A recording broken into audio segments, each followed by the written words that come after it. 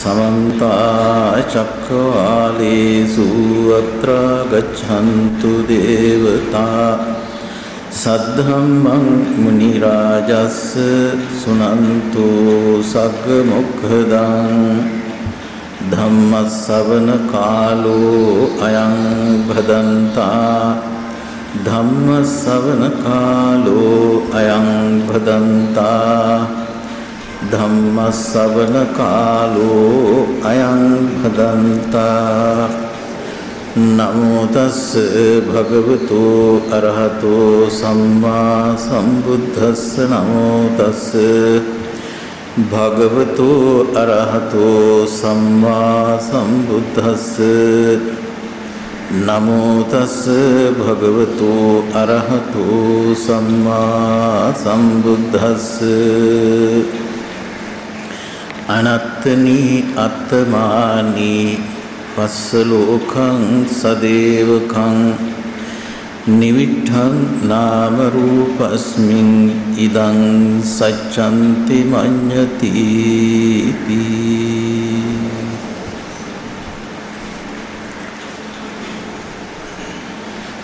අතිපූජනීය මහානායක මාහිමිපාණන් වහන්සේ ප්‍රමුඛ විහාරස්ථානයේ වැඩ වෙසෙන ගරුතර පූජනීය මහා සංඝරත්නයන් අවසරයි. ශ්‍රද්ධා බුද්ධ සම්පන්න පින්වත්නි පින්වතියනි මේ වජිරාරාම විහාරස්ථානයේ මේ වස්සාන සමයේ සිදු කරන විශේෂ ආගමික වැඩපිළිවෙළවල් අතරත මේ ධර්මානුශාසනාවකට මේ මොහොතේ සවන් දෙන්න බලාපොරොත්තු වෙනවා. ඒ අනුශාසනජ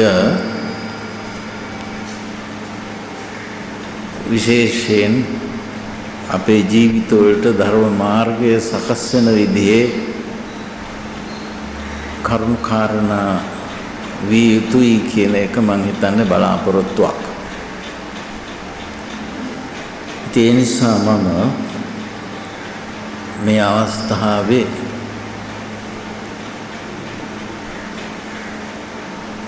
මාතෘකාවක් හැටියට ඉදිරිපත් කරේ ද්වේතානුපස්සනා සූත්‍රයේ ඇතුළත්ව තිබෙන පුංචි ගාථාවක්. ඒ ඔස්සේ අපට අපේ ජීවිතයේ සද්ධර්ම මාර්ගයේ සමග සම්බන්ධ කරගන්නට භාවනා මාර්ගයක් සමග සම්බන්ධ කරගන්නට අවශ්‍ය අවබෝධය කරා අපිට ගමන් කරන්න පුළුවන් වේවි.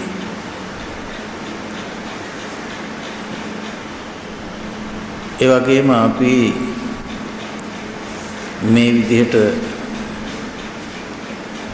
ධර්මයේ පිළිබඳව කතා බහ කරන්නේ සාකච්ඡා කරන්නේ අපේ ජීවිතවලට. ඒ සද්ධර්ම මාර්ගය හඳුන ගන්නට. නිවැරදි දැක්මක් අපේ ජීවිත තුළට ඇති කර ගන්නට. ඒ දැක්ම ඔස්සේ අපේ ජීවිතයේ ඉදිරියට මෙහෙයව ගන්නට. අවශ්‍ය කරන අවබෝධය තමයි අපි මේ සකස් කරගන්නේ. එක්තරා විදියකින් අපේ ජීවිත භාවනාමය ජීවිත බවට පත් කරගෙන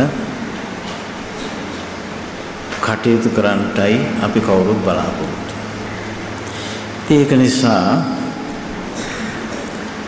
මේ අවස්ථාවේ අපේ ජීවිතවලට පැහැදිලි දැකීමක් ඇති වෙන්න අපි මොන මොන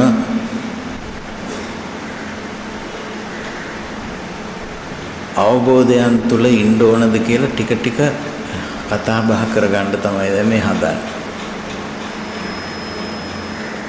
දැන්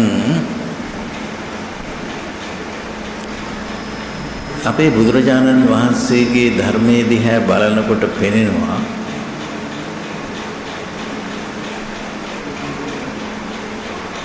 අපි පටන් ගන්න ඕන කිය කරන්නේ මේ මොහොතින් කියලා. කොයි වෙලාවෙන්ද අපි පටන් ගන්න ඕන? මේ මොහොතින්. අතීත සංසාරයක් ගෙවුණා. මතු සසරකුත් සකස් වෙයි. ඔය අතීත සංසාරේ සකස් වුනේ කොතනද? අපි ගත කරපු මේ මොහොතවල් වල තමයි නේද? අපි ගත කරපු මේ මොහොතවල්. අපි ඉදිරියටත් සසර හිටියොත් ඒවා මේ මොහොත බවට පත් කරගන්නා වූ තැන තමයි අපි. මේ කාරණේ මතක් කරන්න හේතුව මේ සංකීර්ණ වෙලා තියෙන දේවල් අපට පහසුවෙන් පැහැදිලි තැනකට අරගන්නට මේ වැටහීම උපකාර වෙන නිසා. අපි බුදුරජාණන් වහන්සේගේ කාලේ මේ පින්වතුන් අහලත් ඇති හේමක කියලා මානවකයෙක්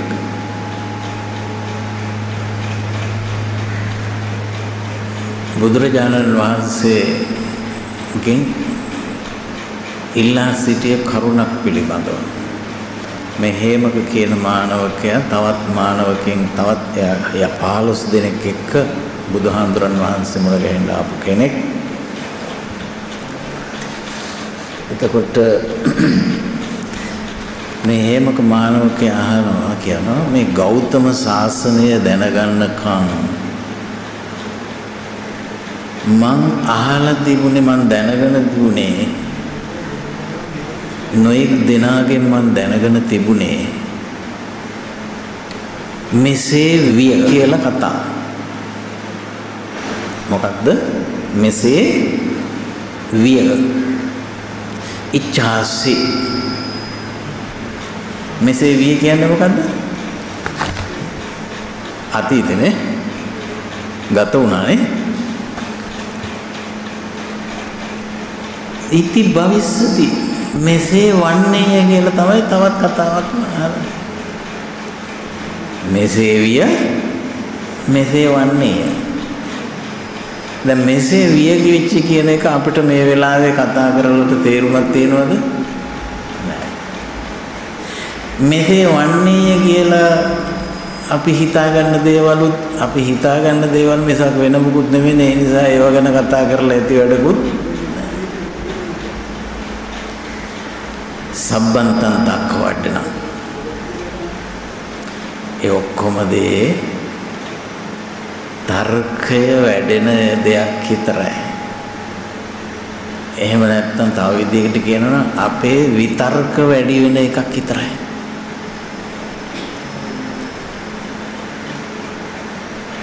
ඒ නිසා ස්වාමීනි මට සිහියෙන් යුක්තව කටයුතු කරලා දුකෙන් අත් මිදෙන්න මගක් කියලා දෙන්න. හේමක මානවකයා ඉල්ලා හිටියේ ඕකයි. ඒ ඉල්ලා හිටීම කොච්චර වටිනා ඉල්ලීමක්ද කියලා දැන් Tamanට හිතෙනවද?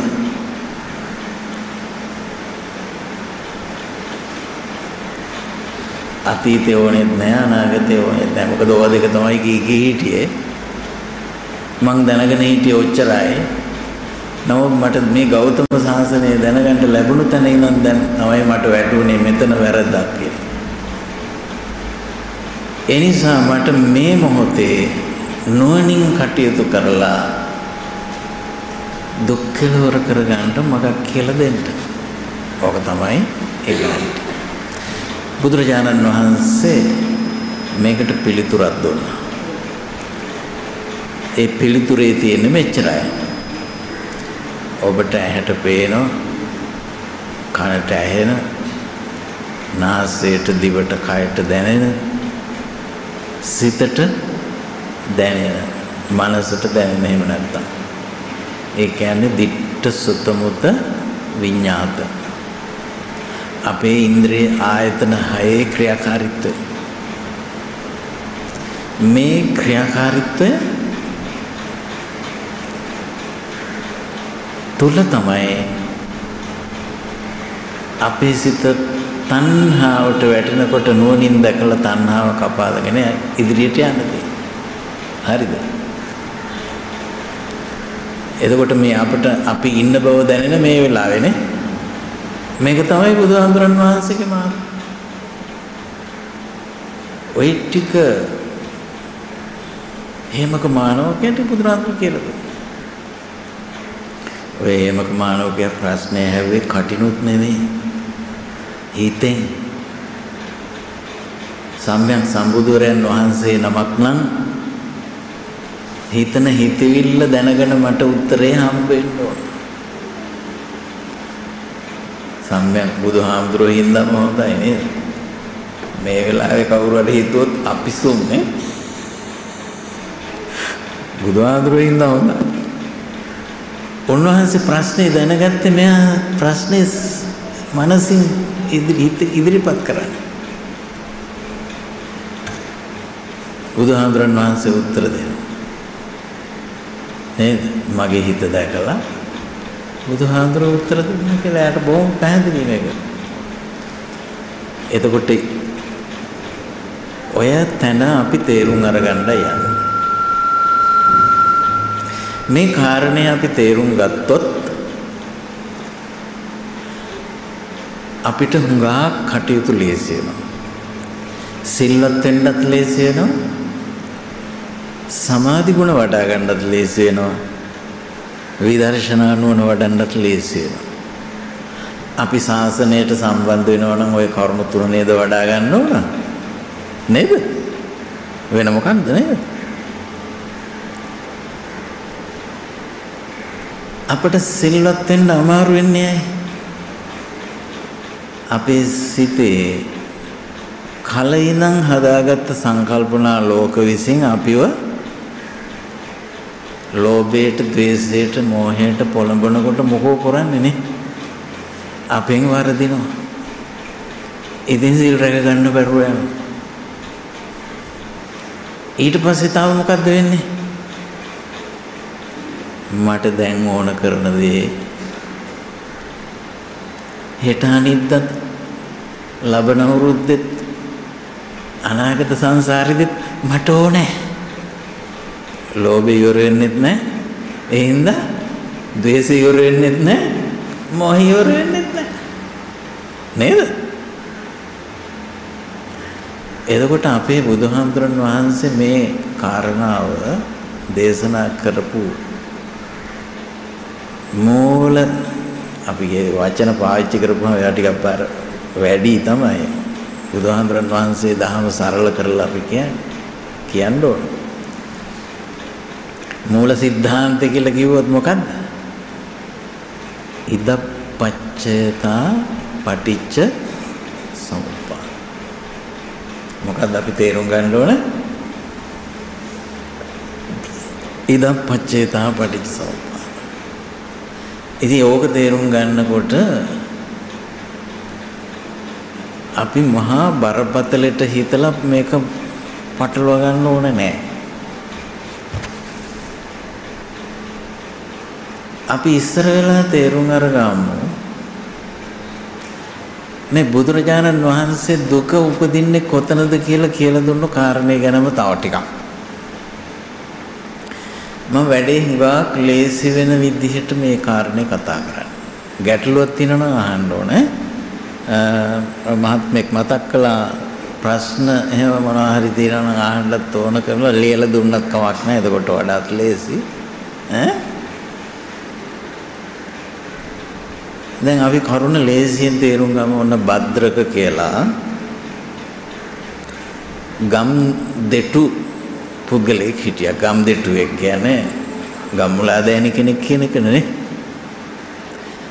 මේ ගම් දෙටුව දවසක් බුදුරජාණන් වහන්සේගෙන් ඇවිල්ලා අහනවා ස්වාමීනි මට කියලා දෙන්න කොතැනද මේ දුක උපදින්නේ කියලා. දැන් අපි මොකද කරන්නේ මේ ලෝකෙ කොහෙද කොච්චර දිග පළලද නේද? අපි එහෙමනේ හිතන්නේ නේද? කොච්චර චක්‍රවාට තියෙනවද? මේ අන්තරීක්ෂයේ කොයිතරම් පෘතුලද? අපි මේ මෙතන පුංචි තිතක් වගේ මම මෙතන ඉඳගෙන හිටියට මේ අපට අදාහ ගන්න බැරි මේ දැවැන්ත විශ්වයේ මොනතරම් සිදුවීම් තියනවද මේ ඔක්කොගේම රහස මන් දැනගන්නේ කවද්ද එමෙ හිතනවනේ අයියෝ කරදරයක් විතරයි ඉවරයක් නැති වැඩ තේරුණා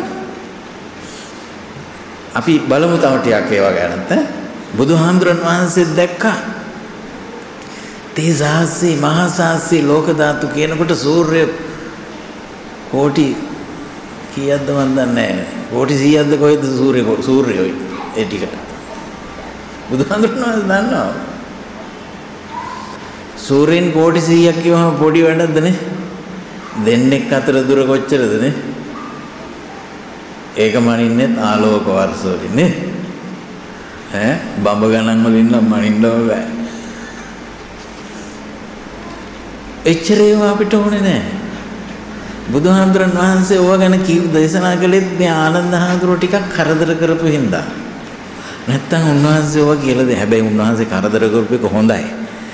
අද මේ 21 වෙනි සියවසේ 20 වෙනි සියවසේ ඉඳන් 21 වෙනි සියයට පසට පාතබා ඉන්න අපිට හරි උපකාරයි. මේ බුදුහාමුදුරුවෝ අකමැත්තෙන් නමුත් කියා දේශනා කරපු කරුණ. මේ බුදුහාමුදුරන් වහන්සේ මොකද කළේ අපේ දැක්ම අපි කොයිතරම් දේවල් කතා කළත් මොන තරම් දේගෙන හිතුවත් අවසාන වශයෙන් අපි හිතලා තියන්නේ බොහොම පුංචි තැනක් විතරයි කියලා හොඳට දැනගන්න. මොකද්ද ඒ තැන? අපීම විඥානයේ විසින් පිළිබිඹු කරන නාම රූප ලෝකය තමයි අපි අපිට අහුවෙලා තියෙන්නේ. මම ඔතෙන්ට එනවා. ඒක තමයි අර මාතෘකා කරපු ගාථාවේ අර්ථය උතන තමයි තියෙන්නේ. එතෙන්ට එන්න අපි බලමු අර භද්‍රකගේ සිද්ධියක් ටිකක්. මේ භද්‍රක දුක උපදින්නේ කොහෙද කියලානේ ඇහැවේ. ඉතින් අපිට හිතෙන්න පුළුවන් මොකද්ද මේ පටන් ගත්ත ගමන් දුක ගැන කතා කරන්න පටන් ගන්නවා. එහෙමත් හිතෙනව නේද? නැද්ද? දුක දුක කියන වචනය ඔය අපි කියන මේ ඔය දැන් තියෙන මේ අපිට ඇහැට පේන්න ඔය සමාජයේ තියෙන යම් යම් දුක් දුම්නස් විතරක් නෙවෙයි මේක මහ පුදුම බරපතල එකක්. සංසාරේ හැමදාම ඉන්න ඉන්න කැමතිනේ නේද? නිවන් දකින්නට වඩා හුඟ දෙන්නේ නැද්ද? නැද්ද? දැන් නම් නිවන් දකින්නම කැමති වෙලා ඉන්නේ. සසර හැමදාම ඉන්න කැමති අය. හැබැයි සසරක් තියෙනවා කියලා දන්නේවත් නැතුව ඉන්න අය තමයි උඟ දෙනෙක් ඉන්නේ. නමුත් කවුරුත් කැමති. මෙන්න මේකයි. මූලික වශයෙන් පුද්ගලයාගේ මනසේ තියෙන්නේ. මොනක්වත් දැනගන්න ඉස්සෙල්ලා. මොනවද තියෙන්නේ? ජීවිතකාමෝ ජීවත් වෙන්න ආසයි. අමෘතකාමෝ මැරෙන්න කැමති නැහැ. සුඛකාමා සැපයි සැපටයි කැමති. දුක පටික්කුල දුක නම් පිළිකුල්. ඔතන තමයි කවුරුත් ඉන්න තැන ඉස්සරලා. ඉස්සරලාම කවුරුත් ඉන්න තැන ඔතන තමයි. දැන් අපි ටික ටික මේ බණ දහම් දැනගන්න පස්සෙන් පස්සේ අපේ දැක්ම ටික ටික වෙනස් වෙලා එනකොට අපිට මේක එකපාර හිතා ගන්න බැරි වෙන්න පුළුවන්. නමුත් අපි අපේ පුංචි කාලෙම ගිහිල්ලා හිතලා බලන්න. සැප කැමති වෙච්ච එකයි දුක පිළිකුල් කරපු එකයි ඉන්න තියෙන කැමැත්තයි නේ තිබුණේ වෙන මොකද්ද නේ? මෙන්න මේ තැන ඉඳගෙන ඉන්න ලෝක සත්වයාට හරි අමාරුයි ධර්මයේ කියලා දෙන්න ඒ නිසා බුදුහාමුදුරන් වහන්සේ දන්නවායි බව. ඉතින් මමත් එහෙමනේ. ඒ ලෝකෙනේ ඉන්නේ දැන් නේද? නමුත් දැන් ඒක ඉඳගෙන බුදුහාමුදුරන් වහන්සේගේ ධර්මයේ ශ්‍රාවක පැත්තේ ඉඳගෙන අපි අපි ශ්‍රාවක පැත්තේ. දැන් මේ පින්වතුන් ශ්‍රාවක මමත් ශ්‍රාවක. ඈ ඒ පැත්තේ ඉඳගෙන අපි මේ ධර්ම හොයා බලමු. එතකොට තමයි හොඳ. ලේසි. දේශක ශ්‍රාවක නෑ මෙතන ශ්‍රාවකයෝ ඉන්නේ. දැන් බුදුරජාණන් වහන්සේ මේ හේමකට භද්‍රකට කියනවා මෙන්න මෙහෙම දැන්. දැන් ඔබට මම මේ කාරණේ සරලව කියලා දෙන්න. අතීතේ ඔබ විඳ යම්කිසි දුකක් මොනවා හරි තියෙනවා නම් ඒව ගැන දැන් මේ වෙලාවේ කොච්චර විස්තර කළත් දැන් ඔබට එය පැහැදිලි නෑ. ඒ නිසා ඉතුරු වෙන්නේ ඒක ගැන කතා කළොත් එහෙම මම දන්නේ මෙන්න මෙහෙම වගේ එකක් කියව මට නම් ඉතින් හිතා ගන්නවත් බෑ කියලා එච්චරයි නේද වෙන්නේ. ඊළඟට ඔබට මතු මෙන්න මෙහෙම දුක් කටළු ඇති වේවි කියලා මම කතා කළොත් බුදුහාඳුර සඳහන් කරනවා. ඒකෙනුත් වැඩක් වෙන්නේ නැහැ. මොකද්ද වැඩක් වෙන්නේ නැත්තේ? ඒ කතාවත් ඉතින් මෙන්න මෙහෙම එකක් කිව්වා ඉතින් අනේ මන් දන්නේ නැහැ ඔය ඇත්තද බොරුද කියලා. ඔච්චරයි. ඒ හින්දා මම ඔබට දැන් දුක උපදින හැටි ගැන කියන්නම්කෝ කියලා බුදුහාඳුරෝ මේ මේ මේ ගැඹුරු කාරණාවකටවත් බැස්සේ නැහැ. මේ භද්‍රක කියන ගම් දෙටු වගේ ගමේ එයාට තියෙන අත්දැකීමක් තුළින් තමයි දැන් බුදුහාඳුරෝ කාරණේ කියලා දෙන්නේ. වෙන මොනවාක්වත් ගත්තේ නැහැ. දැන් අපි බණ කියන්න ගියාම බුදුහාඳුරෝ මෙසේ වදාර යත කියලා සූත්‍රයකින් කියනවනේ.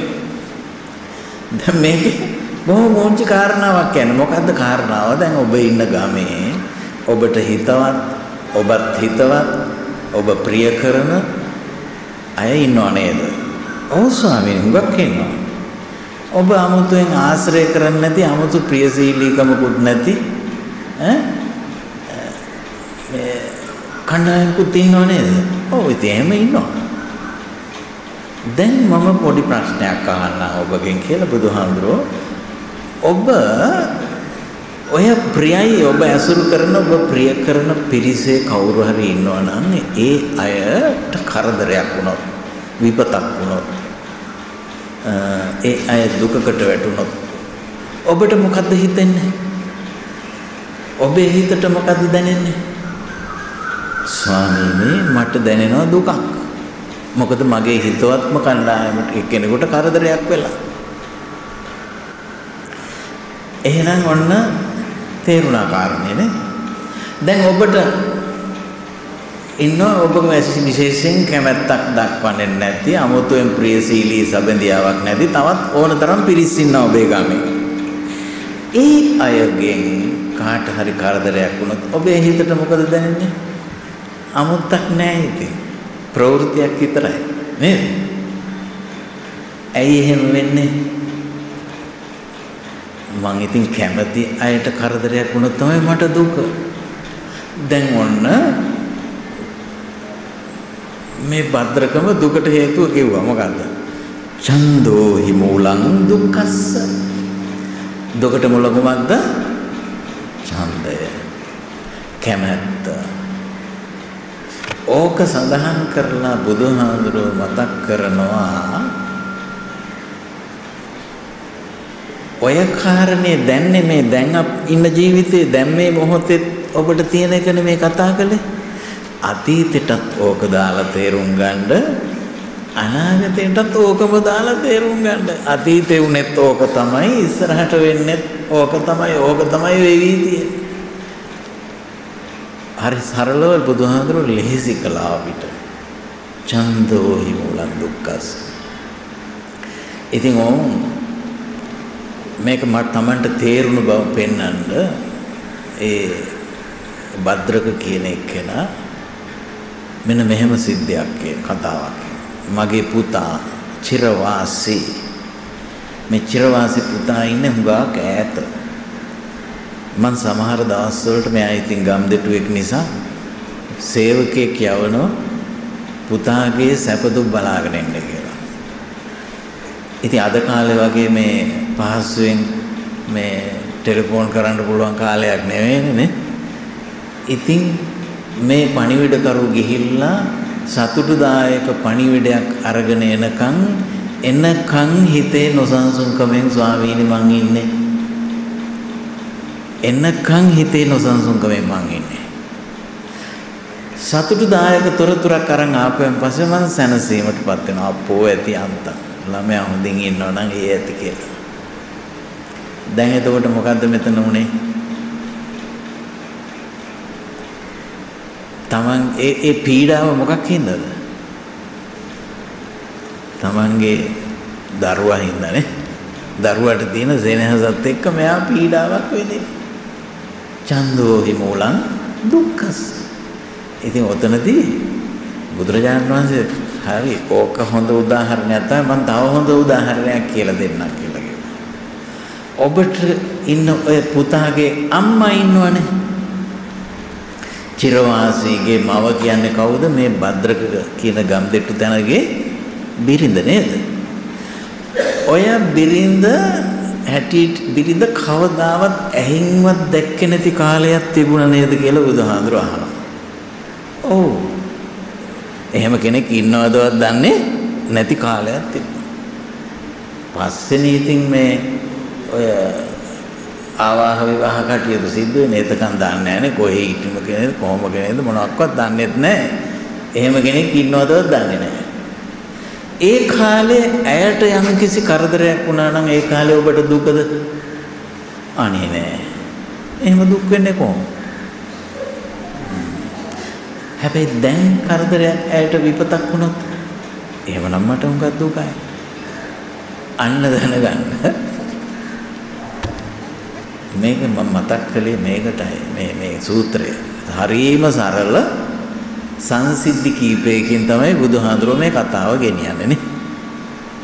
아무තු ගැඹුරු න්‍යායවල මෙතන ඇත්තේ නැහැ. ඒ ගැඹුරු න්‍යාය නැති වුණාට මෙතන ලොකු න්‍යායක් තියෙනවා. දුක උපදින්නේ කැමැත්ත නිසා කැමැත්ත තියෙන්නේ දැන්. ඊ පහුගියේවත් නෙමෙයි අනාගතේවත් නෙමෙයි දැන්. දැන් නම් ඔතන තමයි අපි තේරුම් අරගන්න තියෙන්නේ. අපි සසර ගොඩ නැගුවේ මේ මොහොත වෙලාවේ තමයි. දැන් අපි ඔය මේ ඔර්ලෝසුවක් අරන් බලන්නකෝ. තප්පර කටුව යනවා නේද? හොඳම ඒක තමයි අර මේ මේ ඔර්ලෝසුව හොඳයි වගේ. පැන පැන යන්නේ නැති ඔර්ලෝසුව බලන්න. තප්පර කට්ට පැන පැන යන්නේ නැති ඔහොම යන්නේව තියෙනව නේද? ආන් ඒකක් බලාගෙන ඉන්නකො තප්පර කට්ට දිහා මේ මොහොත කොච්චර වෙලා තියෙනවද කියලා අල්ලගත්තද? අල්ලගත්ත හැකිද? බෑනේ. අල්ලගන්න හදනකොටම ඉක්මලා ඉවරයි. හැබැයි මුළු මහ සංසාරෙම හදලා තියෙන්නේ ඔතන. අපි ගොඩනගපු කර්ම මොනවා හරි තියෙනනම් ඔය ඔක්කොම හදලා තියෙන ඔය චුට්ටි මේ මොහොතේ තමයි. තේරුණා? මේ පුංචි මේ මොහොතේ තමයි හදලා තියෙන්නේ. ඒ නිසා අපේ බුදුරජාණන් වහන්සේ ඔන්න ඔතන ඉඳන් තේරුම් ගන්න තමයි අපට කියලා දුන්නේ. අන්න එහෙම බණ ටිකක් කියලා දෙන්නයි මම අද මේ වෑයම් කරන්නේ. පැහැදිලිද දැන්? කතා කරපු ටික පැහැදිලි. දැන් එතකොට අපිට බුදුහාමුදුරන් වහන්සේ දුන්න පොඩි වචනයක් ඉදප්පච්චයතාව කියලා. මොකද්ද මේ ඉදප්පච්චයතාව කියන්නේ? මෙය දැන් මේ ලෝකෙ කිසිම දෙයකට බෑ ඔය අපේ අපේ අත්දැකීම් ලෝකය විතරයි අපි දන්නේ කියලා මම එක සැරයක් මතක් කළා මේ කතා කරනකොට. අපි දන්නේ කොච්චර දිග බලලා තිබුණත් අපි දන්න ටික කොතනද? අපි මේ අත්දකින්න ටික පමණයි. එහෙනම් ඒ තුල තමයි අපේ ලෝකේ තියෙනනේ. බුදුහාමුදුරන් වහන්සේට වැදගත් වෙන්නේ දැවැන්ත විශ්වයද අර මනසේ ගොඩනගා ගන්නා සංකල්පනා ලෝකයේද? මනසේ ගොඩනගා ගන්නා සංකල්පනා ලෝකය. අපි නොදුටු දේවල් අපට දේවල් නෙමෙයි. ප්‍රශ්නයක් නැහැ අපි අත්දකලා නැති දේ නෙමෙයි අපට ප්‍රශ්නේ වෙන්නේ අපි අත්දකින දේ මම මේ වැඩ ටික බොහොම ලිහිල් කරලා ඕනම තැන අල්ලගන්නයි මේ කාරණා ටික කියන්න මහන්සි ගන්න. අපි තව ටිකක් ඉතින් හිතලා බලමු. දැන් අපි බලමුකෝ අර මාත්‍රිකා කරපු ගාථාවෙත් තියෙනවා අනත්තනී අත්තමානි පස්ස ලෝකං සදේවකං. දැන් මේ අනත්තනි ආත්ම නොවන දෙයක් කියලා කිව්වත් අපිට ටිකක් හරි ප්‍රශ්නයක් ඈ. එකපාර මේවා මේ හිතට දිරවන්නේ නැති වචන. ආත්ම කියලා මොකක් හරි දෙන්නේ දැන් අපිට හිතෙනව නේද මම ඉන්නවා කියලා හැමදේම. ඉන්නවා කියලා හිතෙනවනේ මේ මම කියන සැඟීම හිතෙන හිතෙන්නේ මොකක් නිසාද? ඒක කතා කරන්න ඕන අද මේ මම කියන හැඟීම අපට ඇති වෙන්නේ කුමක් නිසාද? අපිට තේරෙනවා අර අපි කතා කළාට මෙච්චර වෙලා මේ මොහොතේ මං ඉන්නවට වඩා මං දිගට දිගට මම කෙනෙක් පවතිනවා වගේ කියලා නේද අපිට හිතෙන්නේ. එහෙමනේ? එහෙමනේ හිතෙන්නේ නේ? දිගට ඉන්නවා. මේ ප්‍රශ්නේ අපේ බුදුහාමුදුරුවෝ දැක්ක බුද්ධත්වයට පත් වෙලා සතියක් සමුවත්සුවෙන් ඉඳලා ලෝ බැලුවයි කියනවනේ. ওই කාරණේ බුදුහාමුදුරන් වහන්සේ දැක්ක වෙලාව.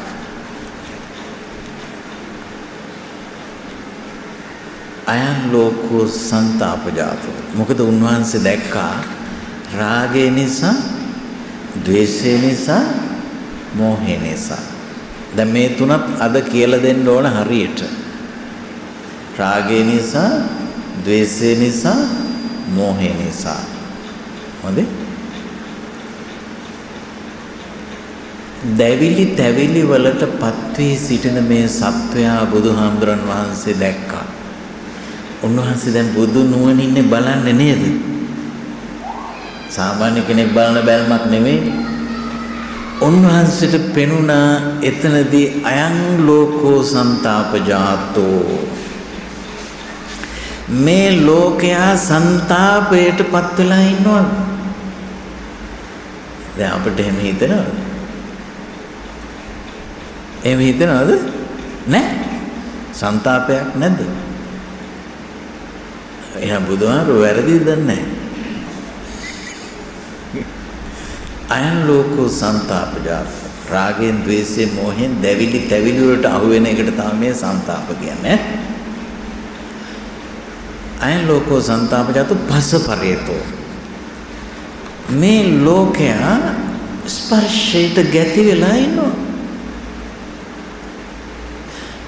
මොකක්ද ඒ ස්පර්ශය? අපි ඕක දැනගන්න ඕන.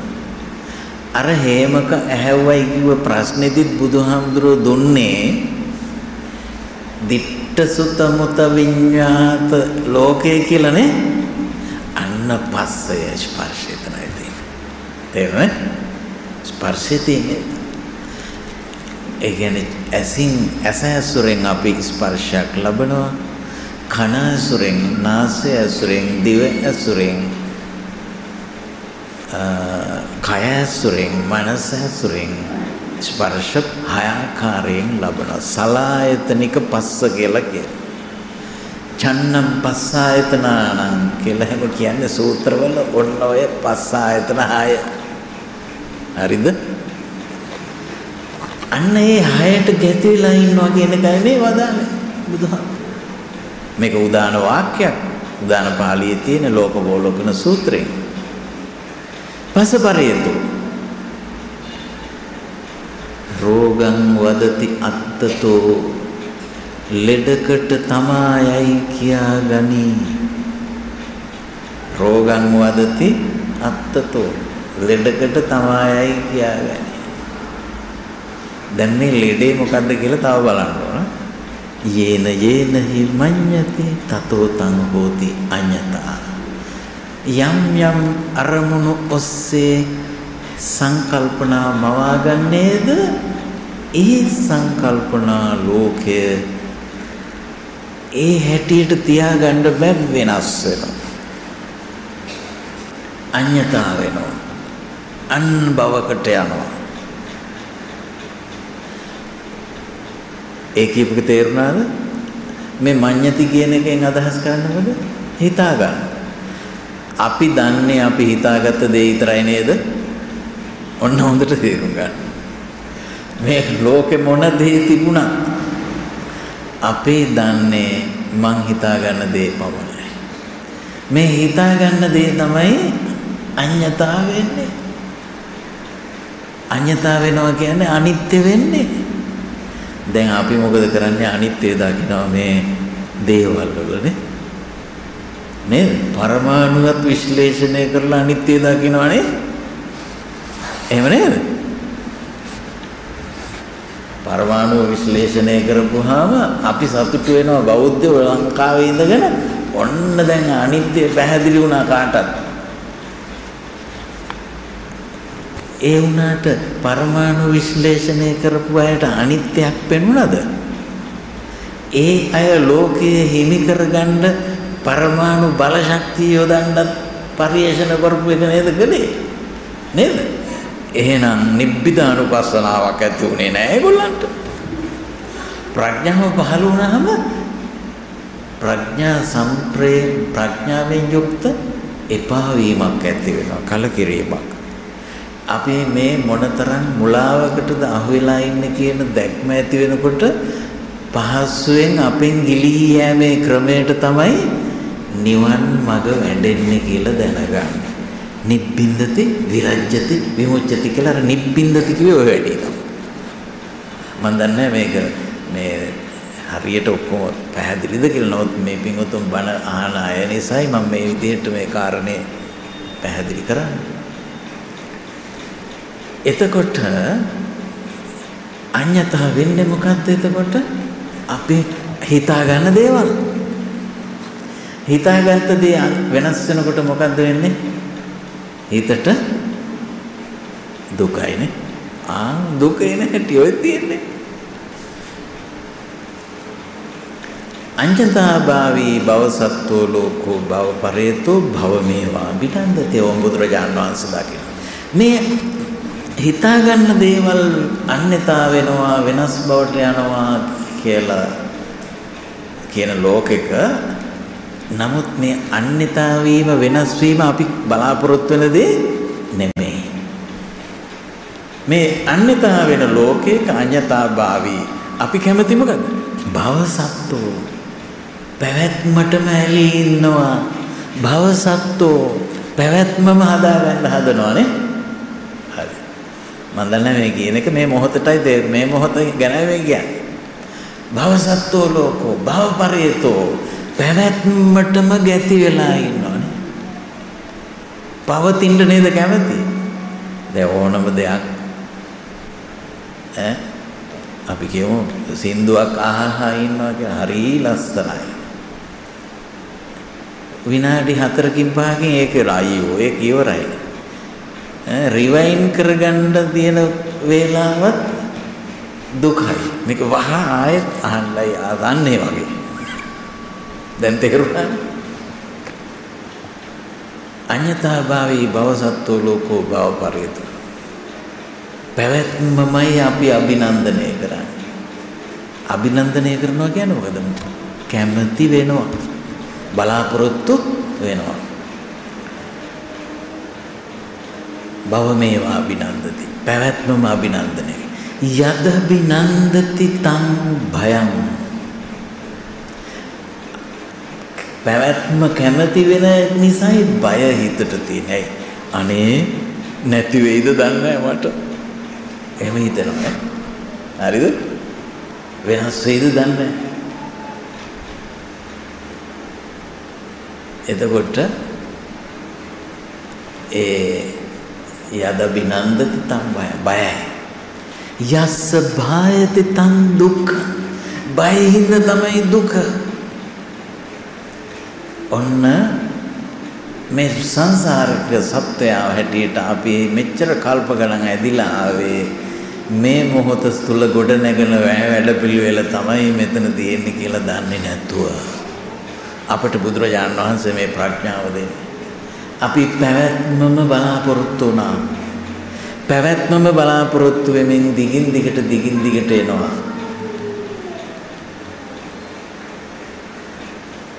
ඒ නිසා බුදුරජාණන් වහන්සේ සඳහන් කරනවා මෙතනදී. එතකොට භව විපහානායකෝ පනිදම් බ්‍රහ්මචරියං උසති මේ සසුන් පිළිවෙත දේශනා කළේ පැවැත්මෙන් මිදෙන්න. මොකක් මොකෙන් මිදෙන්නද? පැවැත්ම තියෙන්නේ කොහෙද? අපේ හිතේ. මොහොතක් මොහොතක් පාසා ගත වෙන පුංචි මොහොතක ගොඩනගන පැවැත්ම පිළිබඳ සංකල්පනයක් තියෙනවා. මේක අපි තේරුම් අරගන්න අපි බලමු මේ චිත්‍රපටි කලාවද කර්මාන්තයද මන් දන්නේ දෙකම කියනවා සමහර. මොකක් හරි ඒ ලෝකය ගැන බලමු. දැන් අපි දන්නවා ඒ චිත්‍රපට නිෂ්පාදකවරු ඉතින් නොඑක් නොඑක් තැන්වලින් නොඑක් නොඑක් දර්ශන එක්කව කරලා එක්කව කරලා නොඑක් නොඑක් සිදුවීම් සමහරලාට සිදුවෙච්ච නැති සිදුවීම් ලස්සනට අපිට බලා ගන්න පුළුවන් විදිහට මේක එඩිට් කරලා රවය කරලා දැන් ඕම් අපිට මේක පෙන්නනවා. දැන් මේ පෙන්නකොට තප්පරයකට අපි හිතමු පින්තූර 20ක් විතර යනවා ඇතිනේ නේද? එහෙම නේද? පින්තූර 20ක් විතර යනවා ඇතිනේ. එහෙම නේද? ඔව්. මේ පින්තූර 20ක් අපි තප්පරයට දකිනවද? අපි දකිනවද? දකින්නේ නැහැ. හැබැයි තිරේ වැටෙන්නේ පින්තූර 20ක්මයි. තිරේ වැටෙන්නේ පින්තූර 20ක්මයි දකි. මම මේ මේ නාම රූප ගැන කියලා දෙන්න පදනමක් මේ හදාගන්නේ. චිත්‍රපටි ගැන උගන්වන්න නෙමෙයි යන්නේ. මං ඔයගොල්ලෝ තරම් ඕක ගැන දන්නේ අපි විනාඩියක් මේ දිහා බලාගෙන හිටියොත් පින්තූර 1200ක් නේ 20 ගානේ ගත්තොත් 1200ක් ගිහින් තියෙනවා නේ නමුත් අපි විනාඩියට පින්තූර 1200ක් අපි දැක්කේ නැහැ පැයක් බලාගෙන හිටියොත් 72000ක් ගිහින් තියෙනවා අපි පින්තූර 72000ක් දැක්කේ නැහැ නේද අපි දැක්කේ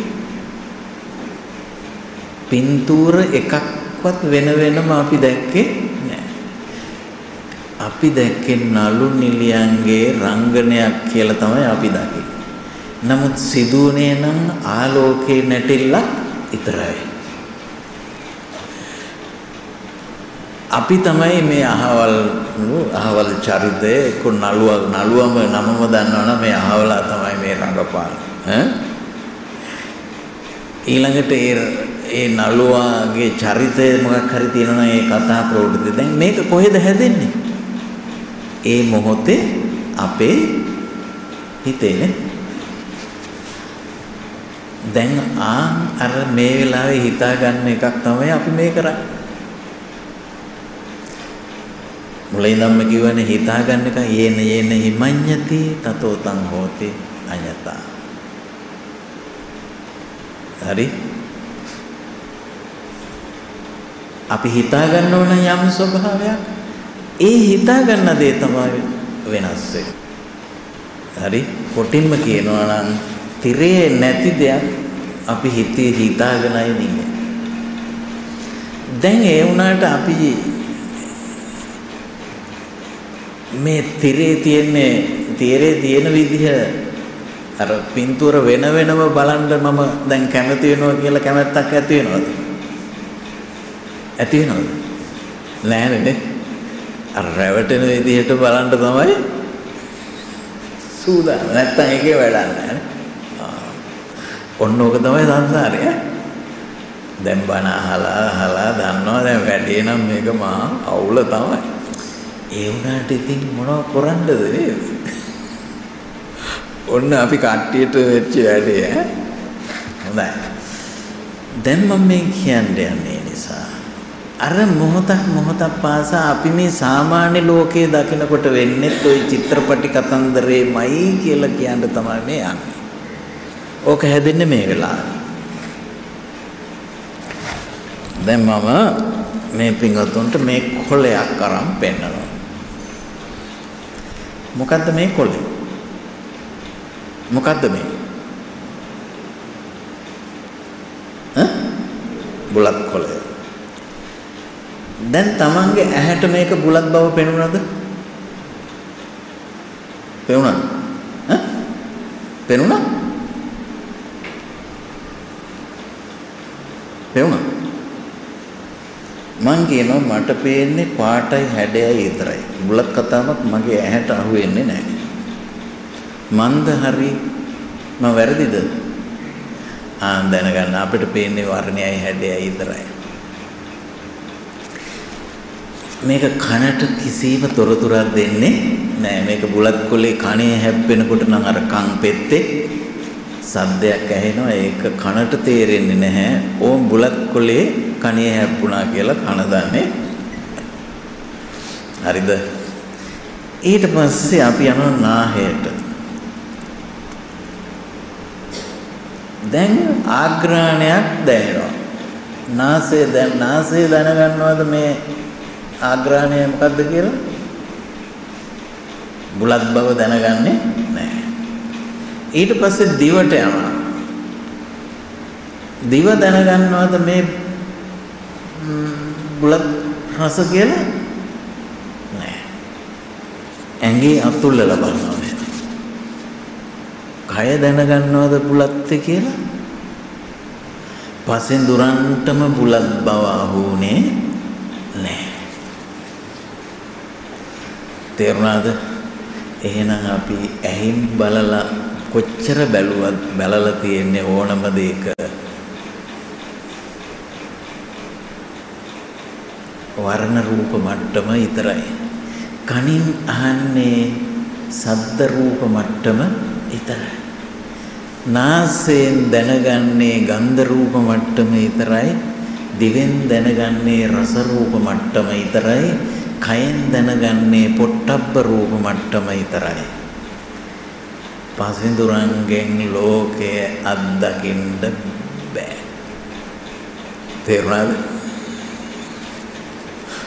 හරි වැඩි නේද? එහෙනම් මේ බුලත් කතාව මේකට ආවේ කොහෙන්ද? මනසේ තියෙන සංඥා දාගෙන. සංඥාවල් ඔස්සේ වින්දන ඔස්සේ අන්න නාම ධර්ම කියන જાති. මම මේ නාම රූප විස්තර කරන්න යන්නේ නාම ධර්ම.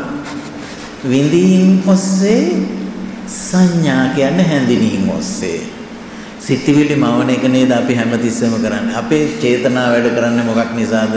විඳ ගන්න විදිහට, හඳුන ගන්න විදිහටනේ. අපි හිතන්නේ නැද්ද? වෙන විදිහක් තියනවද? විඳ ගන්න විදිහටයි හඳුන ගන්න විදිහටයි හිත හිතා ඉන්නවා. ওই දෙකට තමයි අපි අල්ලගෙන පැහැදිලිද? වින්දන සංඥා චේතනා කියන තුනයි ඔය කතා කරන්නේ. අපේ බුදුරජාණන් වහන්සේ දේශනා කරනවා මේ ලෝකය අපි ඉතින් හිතනවනේ ඉතින් මේකේ නොඑක් නොඑක් සංසිද්ධි මේ විශ්වයේ ඇති. නමුත් අපිට අහුවෙන්නේ ලෝකයේ කොතනින්ද? අපිට උපදින්නේ ලෝකයේ කොතනින්ද? මානසිකාරයට ලක් වෙන විටයි අපිට ලෝකයේ උපදින්නේ කියලා දැන් තේරෙනවද? තේරෙනවද? මානසිකාරයට ලක්වන විටයි ලෝකය අපට උපදින්නේ අපිව සසර ඇදගෙන යන්නේ මමත්වයේ ගොඩනගලා තියෙන්නේ මේ මානසිකාරයේ විසින් ගොඩනගන ලෝකයට තියෙන අපේ තණ්හාව මානය දිට්ඨිය හිඳයි ඒකයි මේ මොහොත ගැන කතා කරන්න මම අද පටන් ගත්තේ මෙතනදී බුදුරජාණන් වහන්සේ අපට මේක ලේසි කරලා දීලා තියෙන්නේ. හරිද? ඒ විතරක් නෙමෙයි. වර්ණ රූපයක් පේනකොටයි ඇහැ උපදින්නේ. මේක ටිකක් අපිට හිතා ගන්න බැරි එකක්. හිතාගත්තද? ඇස අපි දන්නවනේ මේ ඇහැ ඉතින් මම මව කුසේ ඉඳන්මනේ මේකේ මේක අරන් ඇවිල්ලා තියෙන්නේ. නේද? ඒ මව් කුසේ ඉඳන් අරන් ආපු එකට තමයි මේ මම අවුරුදු 40 වෙනකොට මේ කන්නඩියක් දැම්මේ. හරිද? දැන් තව ඉස්සරහට කාච දාන්න වෙයි ඇහැට. මොන මොන මොනවා හරි තව එන්න ඉඩ තියෙනවා. ඒ ඇස එකක්. නමුත් අපිට ඇස උපදින්නේ අර කතා කරපු සිවුම් මේ මොහොතේ බව දැනගන්න. ඇස උපන්න කියන්නේ වර්ණ රූපයක් අහුණා. වර්ණ රූපයක් අහුණා කියන්නේ ඇස උපන්නා. හරිද? වර්ණ රූපයයි ඇහැයි දෙක අහුණා කියන්නේ විඥානය උපන්නා. විඥානය මතුණා කියන්නේ වර්ණ රූපයයි ඇහැයි මතුණා. නාමයි රූපයි විඥානයි. නාම රූප විඥාන. ඈ? හරිද? අර අනත්තනී අත්තමානී ගාතාව තේරුම් කරන්න ගිහිල්ලා තේරුම් කිරීම නතර කරලා මම මේ පැත්තට බැස්සේ මේවා කිව්වෙන් පස්සේ තමයි ඒක තේරුම් ගන්න ලේසි හින්දා අනත්තනී අත්තම. අපි ඉතින් හිතාගෙන හිටියේ මේ මොහොතෙන් මොහොත උපදිනවා කියලා නෙවෙයි. දිගින් දිගට තියෙන දේවල් කියලා. මේ දිගින් දිගට තියෙන දේවල් කියලා පිළිගැනීමට තමයි කියන්නේ සක්කාය දිට්ඨිය කියලා මමත් දිගින් දිගට ඉන්නවා මං අත්දකින දේවලුත් දිගින් දිගට තියෙනවා කියලා. නමුත් ඇත්ත සිද්ධිය කුමක්ද? මමත්වයේ මේ මොහොතේ මොහොතින් මොහොත උපදිනවා. අත්දකින දේ මේ මොහොතේ මොහොතින් මොහොත සමුදේ වෙනවා නිරුද්ධ වෙනවා. තේරුණා? අර චිත්‍රපටි කතන්දරේ එහෙම කිව්වේ ඕක තේරුම් කරලා ගන්න ලේසි වෙන්න. පැහැදිලිද? අමාරු නෑනේ. අපි හිතපු දේ නෙමෙයි කියන එක නිසා තමයි අමාරු ඈ. අනත්තනී අත්තමානී. ඉතින් ඒ විදිහට තියනොයි කියලා හිතාගෙන ඉන්න දේවල් ගැන රැවටිලා ඉන්නේ කවුද? පස්ස ලෝකං සදේවකං දෙවියන් සහිත ලෝකයාම මේකේ රැවටිලා ඉන්නේ. හැම සංසාර සත්‍යයකම රැවටිලා. නමුත් බුදුබණ කතා කරන්න පුළුවන් කායෙක්ද මිනිස්සු එක්කයි දෙවියන් එක්කයි ඉතරයි ඉතින් අනිත් අය එක්ක කතා කරන්න අපිට බෑ. නමුත් දෙවියෝ එක්ක අපිට කතා කරන්න බෑ. බුදුහාමුදුරුවෝ තමයි ඒක කතා කරන්නේ. දෙවියෝ අපිට පේන්නේ නෑනේ. අපිට පපුවා මිනිස්සුත් එක්ක කතා කරන්න විතරයි. නේද? නිවිඨං නාම රූපස්මින් ඉදං සච්ඡන්ති මඤ්ඤති අර මොහොතක් මොහොතක් පාසා මැවෙන නාමයේ සහ රූපේහි වැදගෙන මේක තමයි ඇත්ත කියලා හිතාගෙන ඉන්නවා කියලා බුදුහාමුදුරුවෝ දානවා. මහා ලෝකෙ නිකන් සුන්නත් දූවිලි කරා වගේ දේශනාවක් නම් කරන්න දෙන්නේ අපි අපි මේ රැවටිල්ලේ ඉන්නවා කියන එක අපි දැනගන්න එතකොට මානසිකාරයෙන් තමයි මේ ඔක්කොම කෙරෙන්නේ. පස්සෙන් තමයි මේක සමුදය වෙන්නේ. මානසිකාර සම්භවා සබ්බේ ධම්මා අපි අත්දකින ලෝකය මැවෙන්නේ මානසිකාරයෙන්. ඊළඟට එය සමුදය වෙන්නේ අපි අත්දකින ලෝකයේ සමුදය වෙන්නේ ආයතන හයේ ස්පර්ශය. හරිද? පස සමුදය සබ්බේ ධම්මා ඊළඟට අර චන්දෝහි මූලං දුක්ඛස්ස කියලා කිව්ව වාක්‍යය ඡන්ද කිව්වේ කැමැත්ත නේද? දැන් මෙතන මොකද්ද කියන්නේ? දේශනා කරන්න බුදුහාඳුන. ඈ? ඡන්ද මූලකා සබ්බේ ධම්මා. අපි මවා ගන්නා සංකල්පනා ලෝකේ හැම ස්වභාවයක්ම ඡන්ද මූලකයි. හරිද? අර භද්‍රකගේ කතන්දරේ කිව්වේ එහෙම මෙතෙන්ට ගේන්න ඕන හින්දා තමයි. කොහාටද මේක හේතු වෙන්නේ? වේදනා සමෝසරණා සම්බේ ධම්මා. වින්දනයට තමයි හේතු කරගෙන අපේ සියලුම අත්දැකීම් වින්දනයක් එක්ක නෙවෙයි යන්නේ දුක සැප වින්දන වේවා දුක්ඛ වින්දන වේවා දුක්ඛම සුඛ වින්දන වේවා එතෙන්ට නේද යන්නේ නැද්ද මෙන්න මේ පටිච්ච සමුප්පාදයේ ගොඩ නැගෙන්නේ දැන්.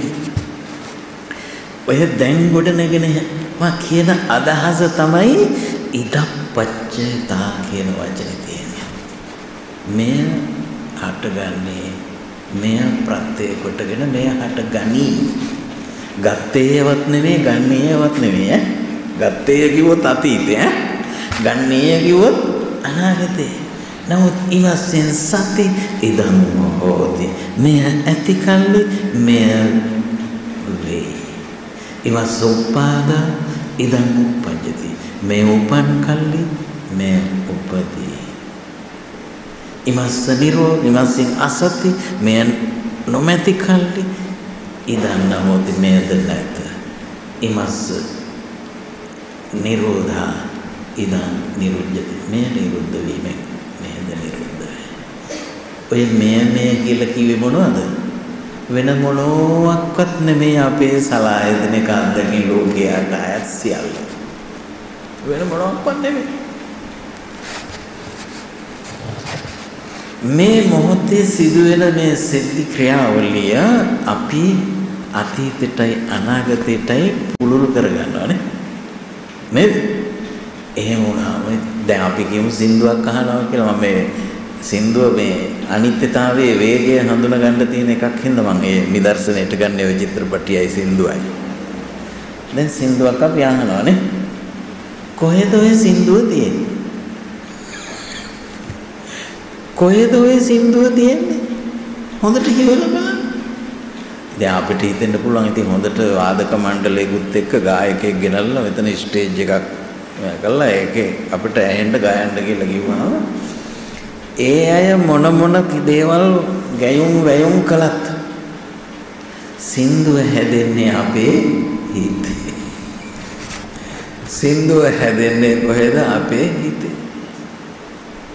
අර සිවුම් තප්පරේ තප්පරේ තප්පර කට්ට යන සිවුම් තැන ගත්තාම මේක ඉක්මනටම තල් වෙනවා. දැන් සින්දුවට බෑ එක තැනක ඉන්න.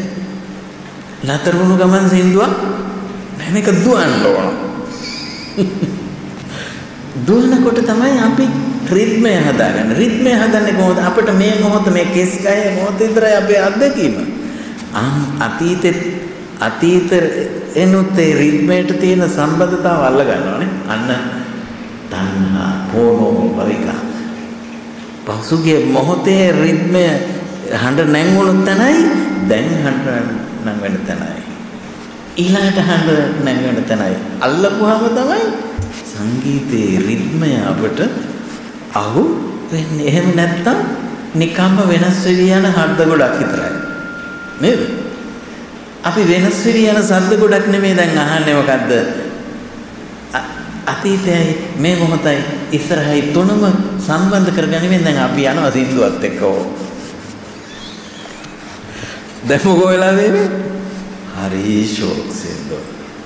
ආ කියලා වැඩක් නැහැ. ඇහැවේ නැත්තම් ඒ කන් දෙකෙන් ඇති වැඩකුත් නැහැ කියලා හැම කියන්න දැන් එතකොට මේ අපි අත්දකින ලෝකය ගැන පැහැදිලි කිරීම තමයි මේ අද දවසේ කරන්නේ. දැන් එහෙනම් ස්පර්ශයයි මානසිකාරයයි දෙන්නත් එක්ක එකවෙලා ඈ නාමයි රූපයි විඥානයි මැවි මැවි තියෙනවා. අපි ඔකට හැමදෙස්සම දිගින් දිගට අහු වෙලා ඉන්නවා. පටිච්ච සමුප්පාදේ කොතනද ඔක තියෙන්නේ? නාම රූප පත්‍ය විඥාන විඥාන පත්‍ය නාම රූප. ඔතෙන්ට තමයි ඔක්කොම ගොනු වෙලා තියෙන තැන. ඇයි අපි එහෙම කියන්නේ? මේක තේරුම් අරගන්න මේ සියලුම බුදුරයන් වහන්සේලා මේ ලෝකයට පැහැදිලි කරලා දෙන්නේ ඔතන. මේ සියුම් තැන. අපේ බුදුහාමුදුරන් වහන්සේගේ දේශනා සූත්‍රවල තියෙනවා ඝටිකාර කියලා සූත්‍රයක්. ඒ ඝටිකාර සූත්‍රය සූත්‍ර කී දෙකක් තියෙනවා. මජ්ක්‍ධිම නිකායේ තියෙන එකක්.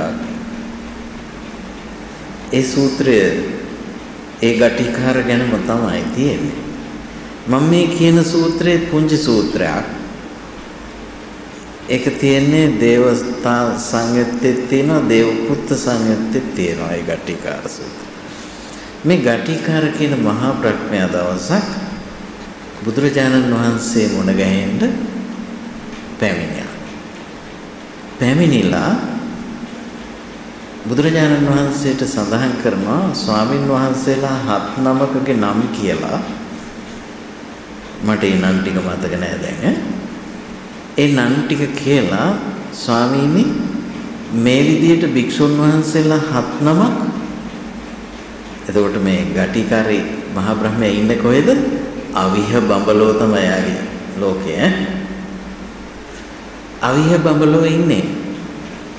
මේ අවිහ බඹලෝ උපන්න. ආම්ද්‍රෝරු හත් නම. හැබැයි අවිහ බඹලෝ උපන්නේ මෙහි හිටලා තියෙන අනාගාමීලා හින්දා. ගටිකාර අනාගාමීලා නෙහි ගියේ නේ. කාශ්‍යප බුදුහාමුදුරන් වහන්සේ කාලේ උපාසක මහත්තයෙක් නෙවෙයි. අහලා තියෙනවනේ? නෑ. කාශ්‍යප බුදුහාමුදුරන් වහන්සේගේ කාලේ ඒ බුදුහාමුදුරන්ට ළඟින් සමීප උපස්ථායකයෙක් හිටියා. ඒ උපස්ථායකයා තමයි ගටිකාර කියලා තරුණයෙක්. එයා දුප්පත් තරුණයෙක්. එයා වළං හදලා විකුණලා තමයි ඒ විකුණන්නෙත් නෑ එයා. බොහොම ධාර්මික වෙයි. මේ වළං අරගෙන මට මගේ අන්ධ අම්මා තාත්තත් රකින්න අවශ්‍ය කරන දේවල් මෙතනින් තියලා යන්න. එහෙම තමයි යාගේ වෙලඳාම. අද කාලේ එහෙම වෙලඳාම් කරන්න අමාරුයි හැබැයි. ඒ විදිහේ කෙනෙක් යා. මහා කාශ්‍යප මහා මොකද මේ කාශ්‍යප බුදුරජාණන් වහන්සේගේ සමීපම උපස්ථායකයෙක්. කාශ්‍යප බුදුහාමුදුරන් වහන්සේගේ කුටියේ පිදුරු ටික දිරලා ගියන් පස්සේ හාමුදුරුන් ගිහිල්ලා ගටිකාරගේ කුට් මේ ගෙදර තියෙන පිදුරු ටික අරන් එනවා වහලේ ගලවලා. අනේ ගටිකාර හරි සන්තෝෂයි. බුදුහාමුදුරු මට කොයිතරම්නම් හිතවත්ද? මේක හරි කරච්චල යන්නේ. පිදුරු ටිකවත් තියාගන්න නෑනේ ඒ ටික අරන් යනවානේ මාව කියලානේ හිතෙන්නේ නේ. නමුත් එහෙම නෑ. ආන් එහෙම කෙනෙක් යා. බොහොම හොඳ කෙනෙක්. අනාගාමී. මේ මෙයා තමයි අපේ බුදුහාමුදුරුවෝ මහාන වෙන වෙලාවෙත් ඇවිල්ලා උදව් කරයි කියනවනේ. මේ ගටිකාර තරුණයාගේ යාළුවා තමයි කවුද? ජෝතිපාල කියන්නේ. මම මේ කතාව දිගට කියන්න කැමති වෙන්නේ නැහැ දැන් මතකයිනේ ජෝතිපාල. එතකොට ජෝතිපාල කියන නම කොයිතරම් පැරණි නමක්ද නේ? නේද? අපි හිතන් හිතේ අලුත් නම් කියලානේ මේ ජෝතිපාල තරුණයා බුදුහාමුදුරුවෝ මේ මේ මොකද්ද මේ බුදුහාමුදුරන්ව දකින්නවත් කැමති වුණේ නැහැ කියනවනේ නේද? ගටිකාර කොහොම අමාරුවෙන් එකගෙන ගියයි කියන්නේ. පරණ යාළුවෝ දෙන්න. මේ ඊළඟට බුදු වෙන්න ඉන්න එක්කෙනා නේද මේ බුදුහාමුදුරන්ව දකින්නවත් කැමති නැහැ කිව්වේනේ. ඒකෙන් තන් දුෂ්කර ක්‍රියාව දික්ුණයි කියලා විපාකෙකුත් තියෙනවායි කියලා තියෙනවා. ඈ එහෙම දේවල් වෙනවා. අපිට කොහොමද ඉන්න ඇද්ද? ගෞතම බුදුහාමුදුරන් වහන්සේට එහෙම අබලන් සිද්ධ වුණා නම් ආර්ය උපවාදනේ.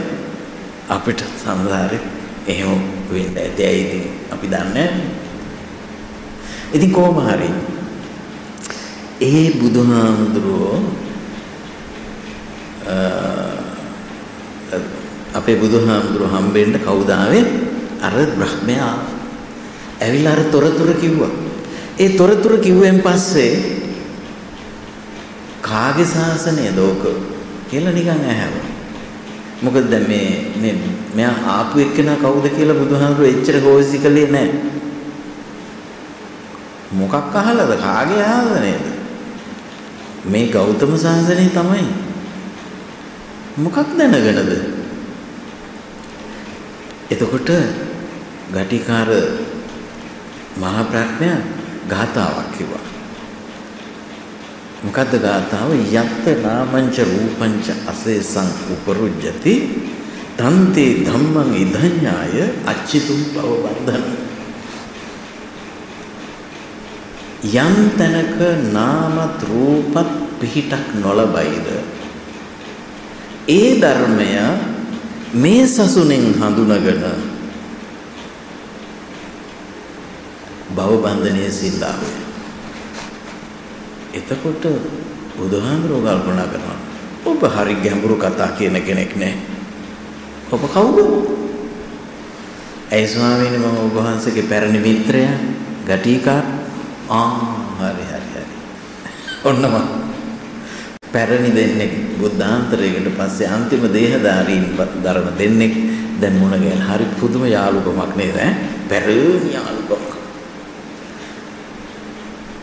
දැන් මෙතන තියෙන වැදගත්කම මේකයි. අපේ බුදුහාඳුරෝ දේශනා කරන්නේ මොකද්ද? නාම රූප විඥාන වලින් මිදෙන්න. කාශ්‍යප බුදුහාරෝ දේශනා කළේ මොකද්ද? ඒකමයි ඒක අහලා තමයි ගටිකාරම එක තේරුම් අරගත්තේ.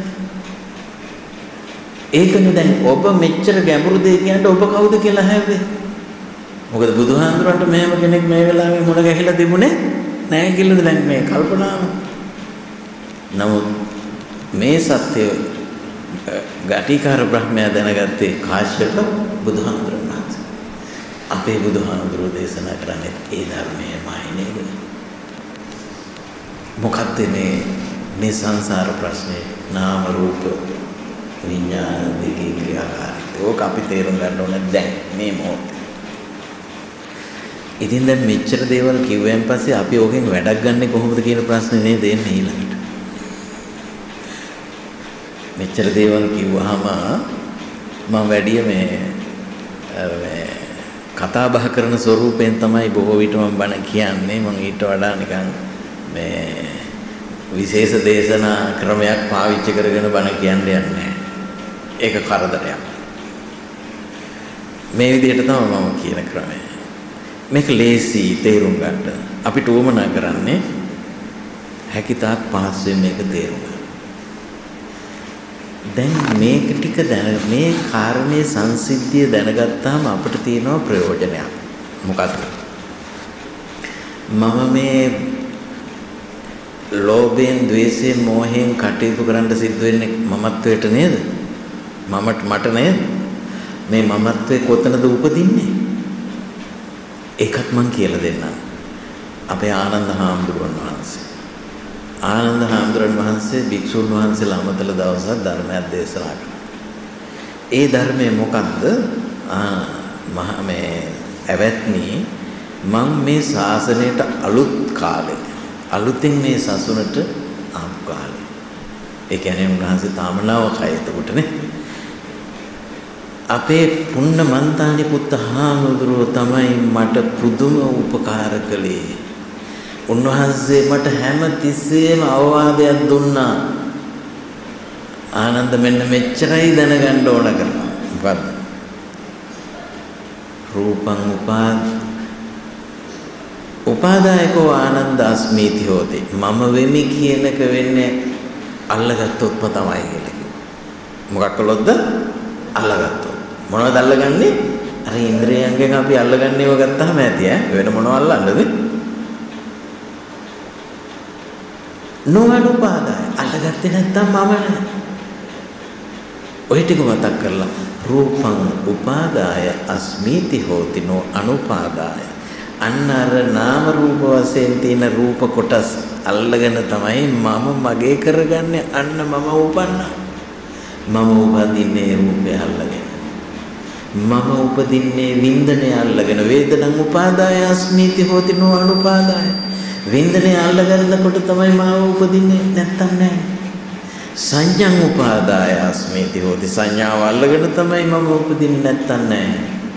සංඛාරයේ උපාදාය අස්මීති හෝති අර චේතනා ගොඩනගෙන ඒවා අල්ලගෙන තමයි මම වෙන්නේ නැත්තම් නෑ. විඥානං උපාදාය අස්මීති හෝති දැනීම් අල්ලගෙනයි මම මැවෙන්නේ නැත්තම් නෑ.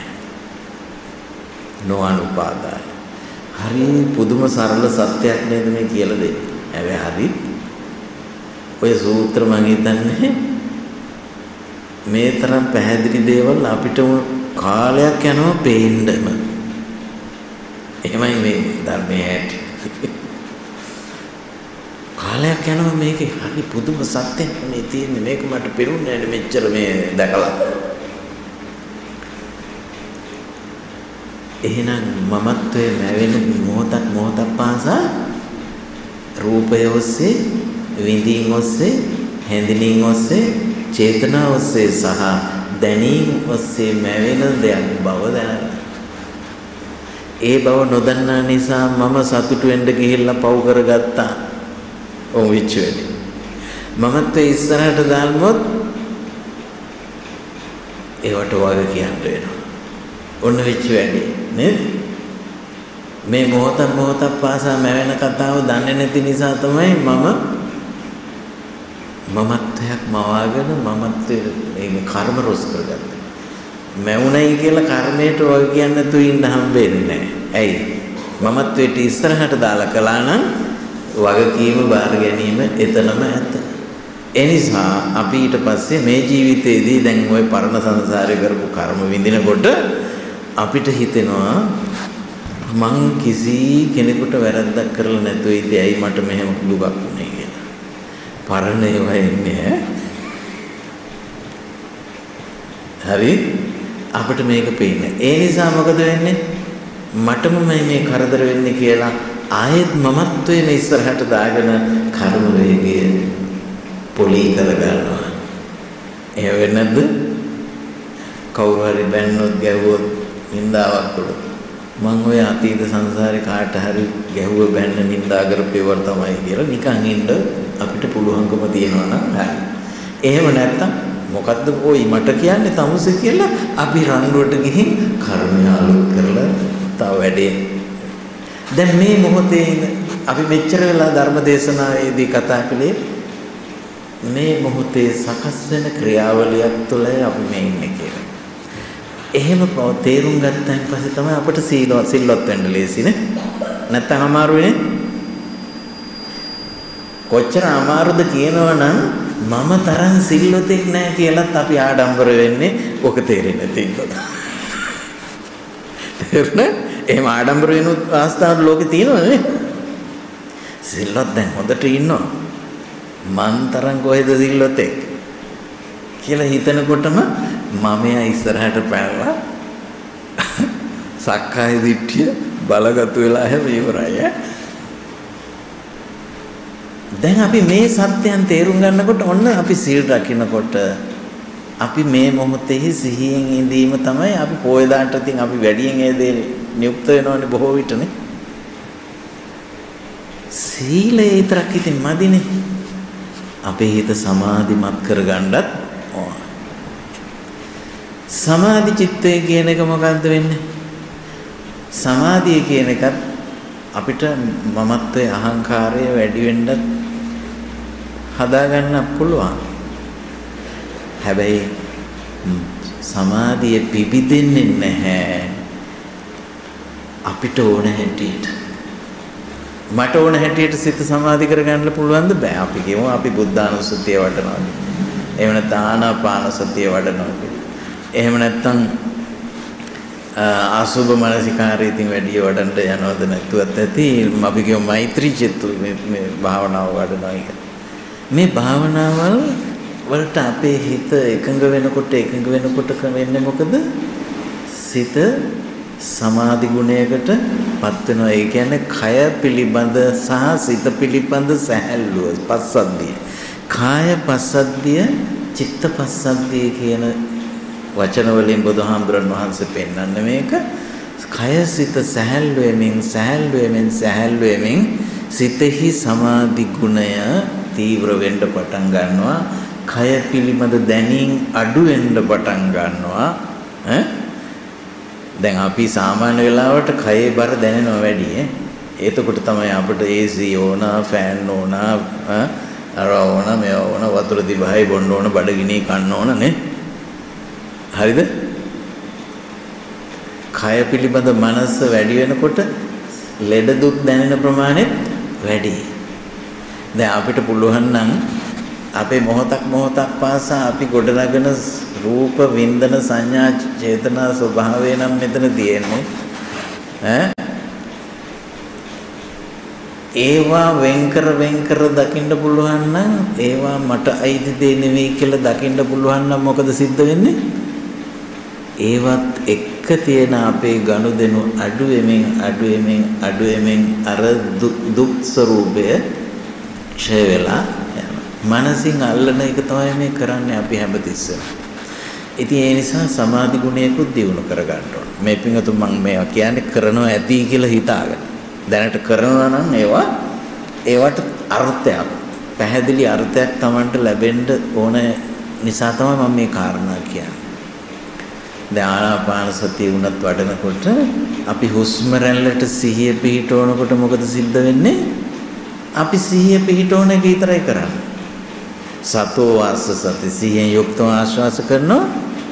සිහියෙන් යුක්තව ප්‍රශ්වාස කරනවා. මෙතන සිදුවෙන එක දෙයක් මොකද්ද? අන්න අර අපි මෙච්චර වෙලා කතා කරපු අතීතේ මෙතන නෑ දැන් ඈ. සිහියෙන් යුක්තව ආශ්වාසයේ අවධානයෙන් ඉන්නව නේද? ප්‍රශ්වාසයේ අවධානයෙන් ඉන්නවනේ. ඔන්න ආශ්වාසය පටන් ගත්තා ඉවර වුණා. මෙන්න ප්‍රශ්වාසය පටන් ගත්තා ඉවර වුණා. දැක දැක ඉන්නවා.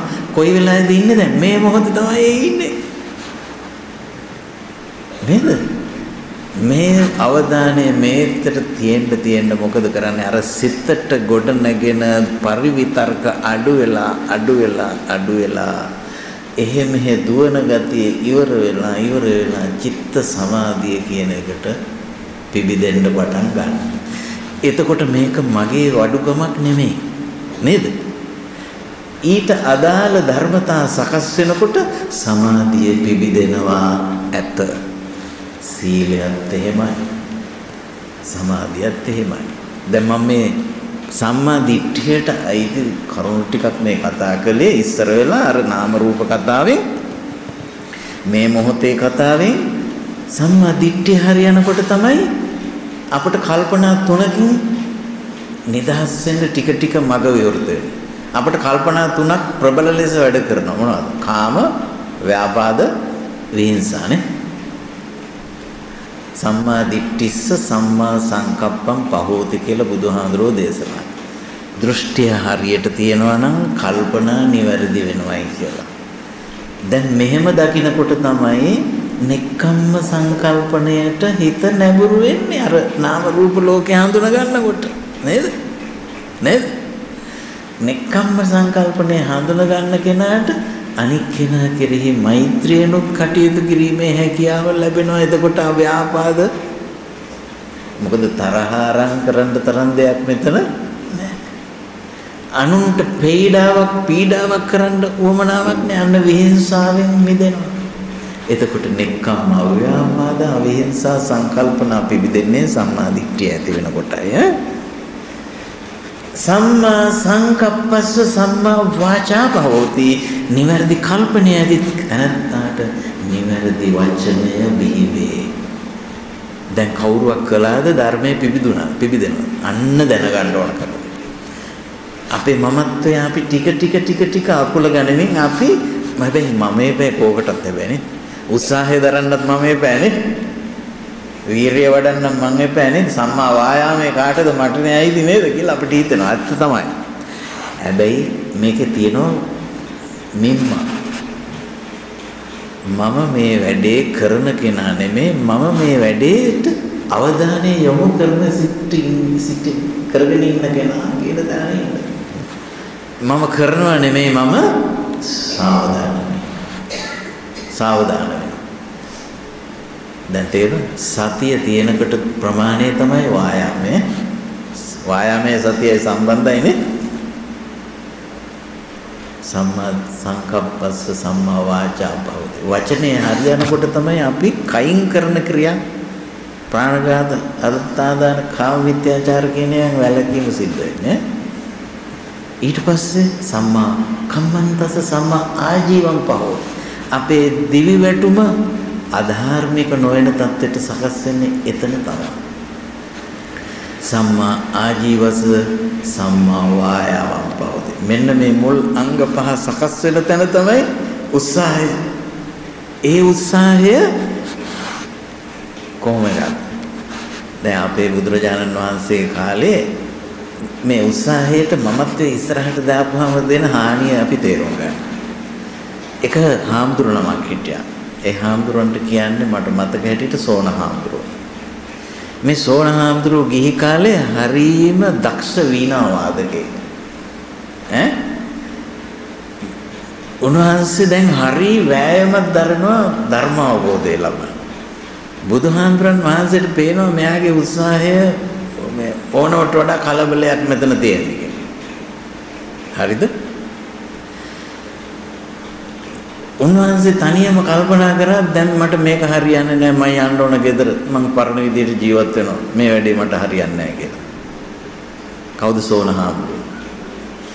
බුදුහාමුදුරන් වහන්සේට පේනවා සෝනහාමුදුරුවෝ කලබල වෙලා දැන් ඉන්නේ. සෝන ස්වාමීනි මොක කලබල?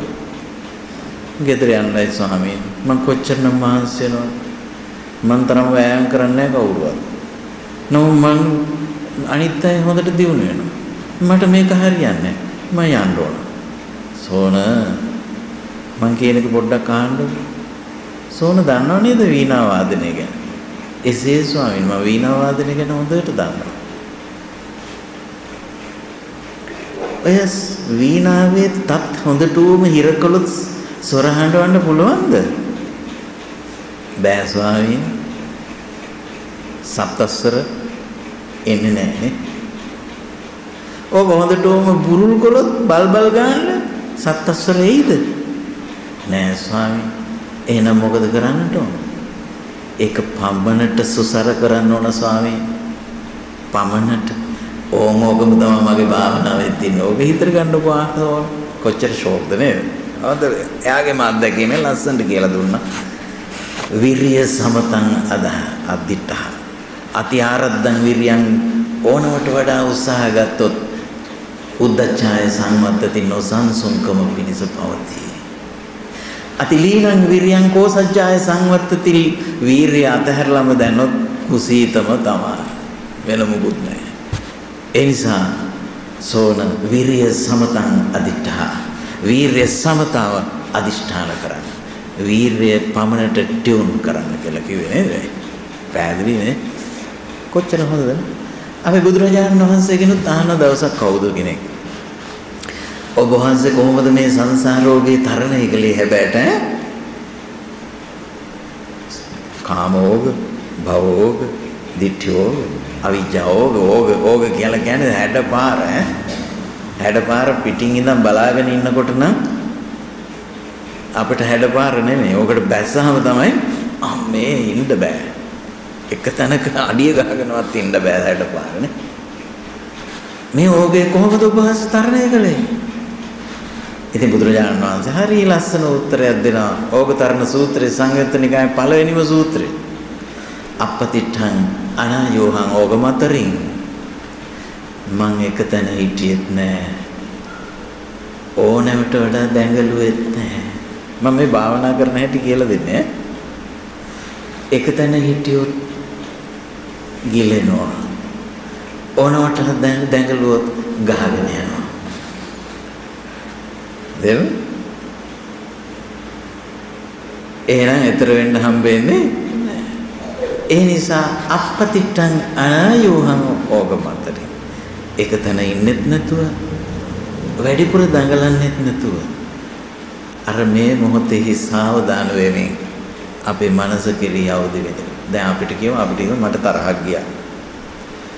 තරහ ගියාම මට හිතෙන්නේ මගේ තරහව හරිම සාධාරණ තරහවක් කියලා. එහෙමනේ?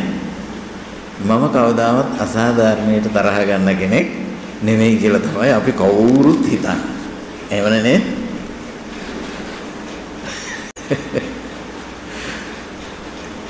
එහෙම හිතන අපිට තරහාවක් ආපුවම අපි බලන්න ඕන ඒ විදිහට නෙමෙයි එතකොට.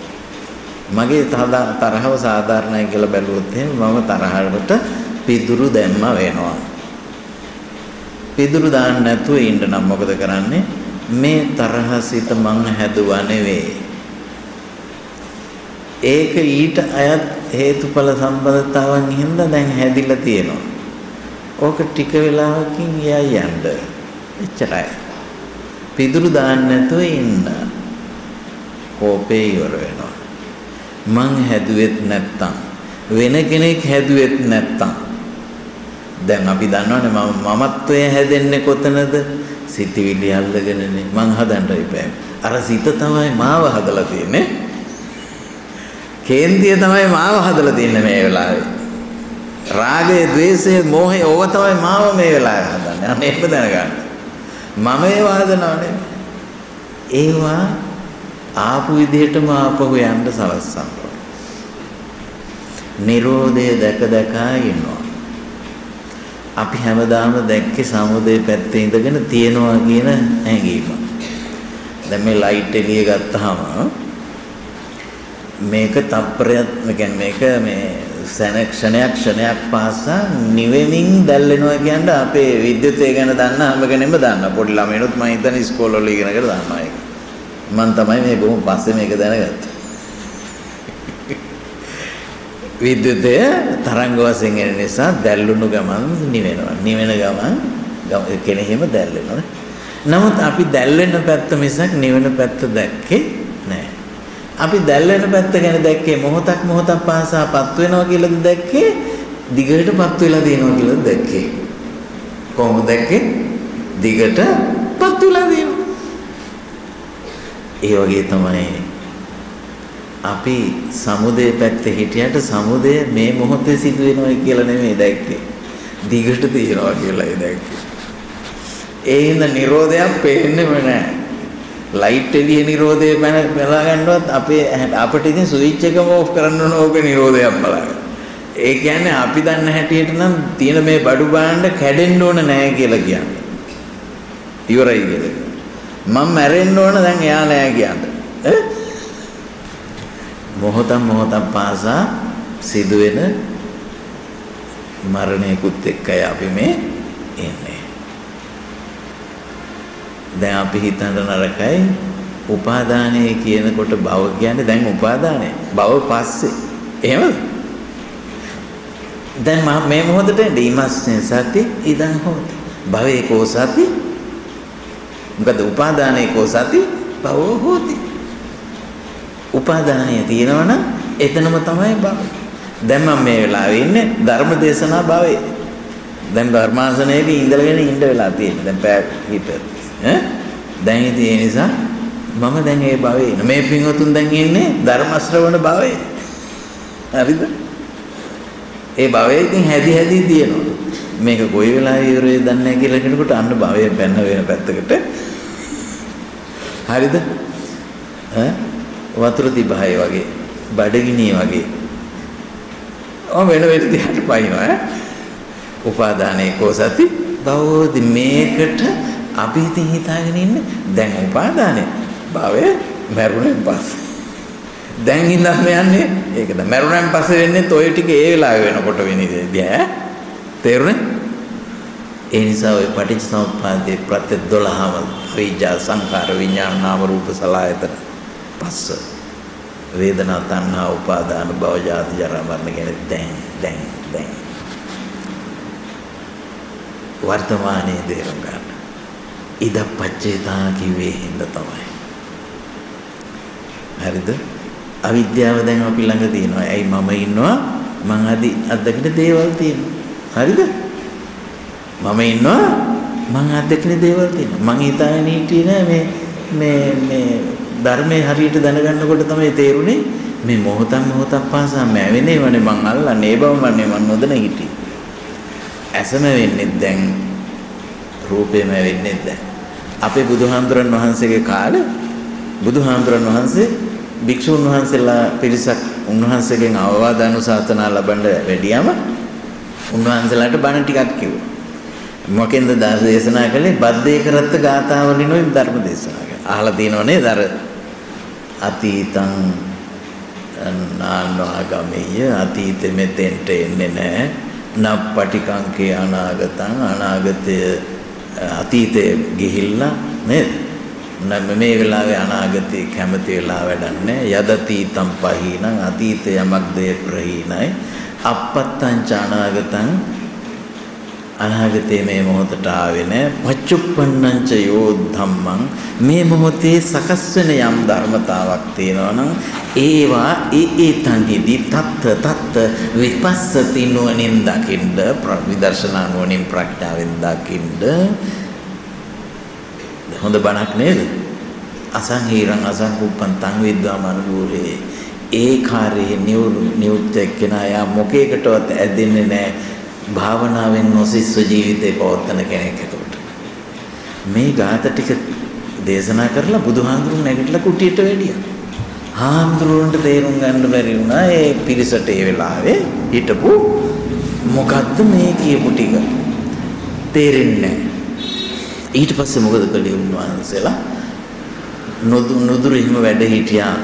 මහා කච්චායන මහරහතන් වහන්සේ මහා කච්චායන මහරහතන් වහන්සේ මේ සංක්ෂිප්ත දේශනාවන් විස්තර කරලා දෙන්න හොඳ දක්ෂ කෙනෙක් අපි යන් උන්වහන්සේ ගාවට ඕන් ගියා උන්වහන්සේ ගාවට. ගිහිල්ලා මෙන්න මෙහෙම දෙයක් අපිට වුණා. මෙච්චර දේශනාවක් කළා. උන්වහන්සේ බුදුහාමුදුරුවෝ කුටියට වැඩියා මේ ටික දේශනා කරලා අපිට මේක අල්ලා ගන්න බෑ.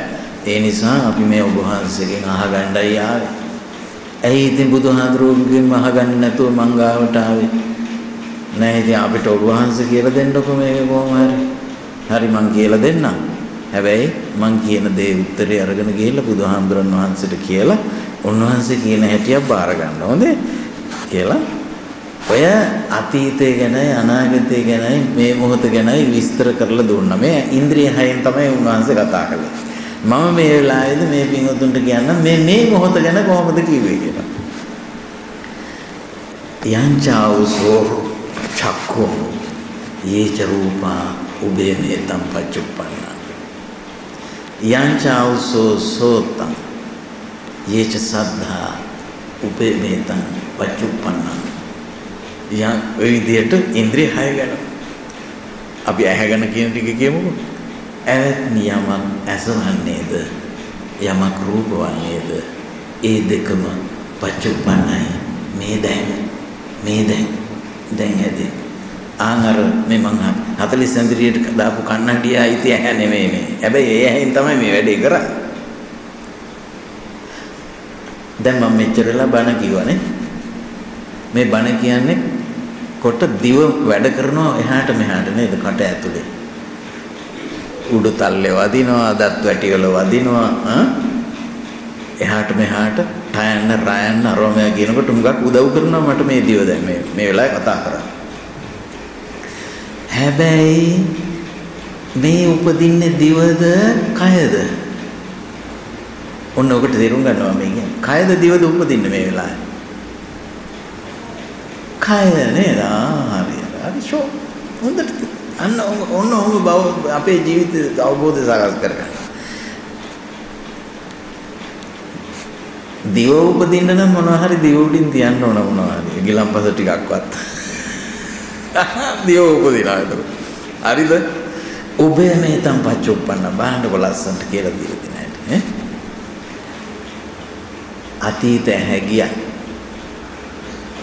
ඒව දැන් ඊයේ දැක්ක දැන් මම මේ අද වජිරාරාමයේ ධර්ම දේශනාවට එන්න ඕන කියලා හතරමාරට විතර ගිය වාහනෙන් දැන් එන ගමන් නොයේක් දේවල් මේ වටා පිටාවේ පෙනි පෙනි ආවනේ. දැන් ඒ ඔක්කොම මොනවද? අතීතය වගේ මේ මේ මොහොතේ අර මේ ඇඟිල්ල මහත වැඩි මේ කෙස් ගහක් කරගන්න ඒ මොහොතේ තමයි අපි ඔය මොහොත අපි අකුසලයකට යන්න නොදී තබා ගන්න දක්ෂණා අපේ අනුසය රැස්වෙල්ල අඩු වෙන්න පටන් ගන්නවා. අපේ සිතේ සමාධි ගුණය වැඩෙන්න පටන් ගන්නවා. පහස්වෙන් සමාධිමත් වෙන්න පුළුවන් වෙනවා. අපේ හිත විදර්ශනා ප්‍රඥාව හොඳට වඩන්න පුළුවන්. මේ දුර්වල වෙන්නේම සක්කාය දිට්ඨිය එතකොට. ඇයි මොහොතක් මොහොතක් පාසා මවන ස්වરૂප. නමුත් අපිට දිගු කාලයක් සංසාරේ හුරු වෙච්ච මේ ඇහැට පේන රූප ලස්සනයි කියලාමයි වැඩියෙන් හිතෙන්නේ නේ. එහෙම හිතනකොට මොකද කරන්න ඕන? ඔහොම තමයි ඉතින් මං හැමදාම හිතුවේ. නමුත් මම දැකලා තියෙන්නේ මොකක්ද? නාම රූප ප්‍රතිබිම්බේ විතරයි මම මේ දැකලා. ඉතින් අත තියලා බලන්න පුළුවන්. පොට්ටබ්බ රූපේ විතරයි අහුවුනේ. ඈ? දැන් පැහැදිලිනේ? පොට්ටබ්බ. මේ සත්‍යයන් අපි තේරුම් ගන්නකොට මේ සත්‍යතාවන් අපි නොදන්නා ලෝකයක මොනතරම් අසරද මේ ලෝක සත්‍යය කියලා ලෝකයා කෙරෙහි මෛත්‍රී සිත දියුණු කරන්න හරිම ලේසි ඊට පස්සේ. අනේ මේ ලෝකයා දැන් අපි හිතමු ගෝසාකාරී පරිසරයක ජීවත් වෙන්න ඉන්න කෙනෙක් මේ ඉලන්දාරි ඔය අරවල මේවල හෙන සෙටප් දාගෙන අර ත්‍රිවිල් වලයි දඩි පිටි ගගා ඩට්ටු ගගා යනවා මහා කරච්චලේ කනක් ඇහිලා ඉන්න නෑ අපිට එහෙම හිතෙනවා නේ? මටත් එහෙම වෙන ඉන්නවා මේ කියන්නේ. එහෙම වෙනකොට දැන් මෙතෙන්ට අපි මෛත්‍රිය මොහු කරන්නේ කොහොමද? බුදුරජාණන් වහන්සේ අපට පෙන්වව දාන අසුතවා පුතුජනෝ නප්පජානාති දුක්ඛාය වේදනාය නිස්සරණං අඤ්ඤත්‍ර කාවසුක ධර්මයේ දන්නේ නැති අය මේ දුකක් ඇති වෙනකොට මේ දුක් වේදනාවල් මගහරව ගන්න පංචකාම ගුණය ඇසුරු කරනවා ඇරෙන්න වෙන කරන්න දෙයක් කොහොමද දන්නේ නෑ මොනතරම් අසරණද නේ ඒ නිසා ඒ අය දැන් සතුටු වෙමි මහා දුකක් මේ විඳින්මින් ඉන්න කියලා ඒ අය කෙරේ කරුණාවෙන් සහ මෛත්‍රියෙන් බලන්න පුරුදු වෙනකොට ඒ අය කෙරෙහි ගැටෙන ස්වභාවය මට අතහැරීම පහසු වෙනවා. හරිද දැන්? හිත ගැටෙන අනේ මේ මොකද කරන්නේ ඊට වඩා කරන්න? දැන් අද කාලේ ඔය ගම්දනව් වල ඉන්නකොට පාන් විකුණන සද්දෙම දවසකට කීසරයක් ඇහෙනවද නේද? හරි අමාරු නමුත් කරන්න දෙයක් නැහැ. ඈ? වෙන මොනව කරන්නද මේ මිනිස්සු ඉතින් ඕක තමයි කර කර මොකද ධර්මයේ දැනගන්නකම් මේ නන්නත්තර වීම වෙනවා. ධර්මයේ දැනගන්නේ අපි මේකට. අපේ අප තුල සීලයත් සමාධියත් ප්‍රඥාවත් සකස් කරගනිමින් යන්නමයි මේක කරගන්නේ වෙන මොකෙකටවත්. කලබල වෙන්නේ නැතුව තමන් අර බුදුහාමුදුරු අර අපපතිට්ටං අනායූහං ඕගමතරින් වැඩි වෑයමකුත් නොකර එකතන ඉන්නෙත් නැතුව මේ කාර්ය කරගෙන ගියා වගේ අර සෝනහාමුදුරුව පමණට සුසර කරගත්තා වගේ තමන් වහන්සේගේ ආගමික ජීවිතය අර වීණාවේ උපමාවෙන් නේ තමනුත් දැන් අපි හිතමු දැන් තමන්ගේ ජීවිතේ සුසර කරගන්න ඕනේ. දැන් අපි හිතමු දැන් යුග ජීවිත පවත්වනවා. ස්වාමියා ඉන්නවා බිරිඳ ඉන්නවා දරුවෝ ඉන්නවා. ඒ අයගේ කටයුතු කරන්න ඕන. මට නම් නිවන් දකින්නයි දැන් ඕන මේ මේ අපරාධ මේ කරගහගත්තේ කියලා එහෙම හිතෙනවනේ. දැන් මොකද කරන්න ඕන? ඒ අය කෙරෙහි මගේ මෛත්‍රී චිත්තය පවත්වමින් මට කිසිම උපකාරයක් පෙරලා නොලැබුණාට කමක් නැහැ කියලා ණය පියවමින් Taman කටයුතු කරනවා නම් Tamanගේ ගමනද ඉස්සරහට යනවා. යුතුයකම් කොටසද සම්පූර්ණ වෙනවා. ඔන්න ඔතනයි ඉන්න ඕන.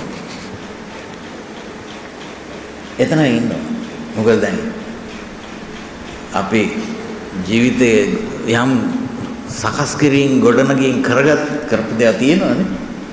ඒවා හැම ඊට වෙන්න ඒ නිසා අපේ බුදුරජාණන් වහන්සේ මේ ධර්ම මේ අපි කතා කරපු කාරණා ටික ඒකත් මම කියන්න ඕන මේ වෙලාවේ.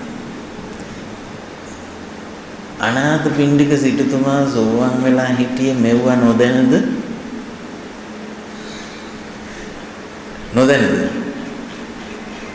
දන්නවනේ. විසාකා මහ උපාසිකාව සෝවන් වෙලා හිටියේ මේව නොදැනද? දන්නවනේ. එතකොට ඒ අය දුගති බයෙන් විමුක්තයි එතෙන්ට අපේ ප්‍රඥාව සකස් කරගන්න තමයි මේ කතා කරන්නේ. දැන් අපි අරගෙන බලමු මේ ඔය සිගාලෝවා සූත්‍රයේ තියෙනනේ ඔතන තියෙන්නේ මොකද්ද? ප්‍රතඥයින්ට බුදුහාරෝ සහයෝගයේ පිණිස කියපු බණ ටිකක්ද? ආර්ය ශ්‍රාවකෙක් වශයෙන් ගන්න පුළුවන් කෙනෙක් අරිය ශාවකෙක් මෙන්න මෙහෙමයි මේ කටයුතු කරන්න කියලා කියපු සූත්‍රයක්ද ඕක මොකද්ද? ආර්ය ශ්‍රාවක. කතංච ගහපති බුද්ධ අරිය ශාවකෝ චද්දිසා පටිච්චාදී ගෘහපති පුත්‍රය ආර්ය ශ්‍රාවකෙක් කෙසේද මේ සම්බන්ධතාවය निराවුල්ව පවත්වන්නේ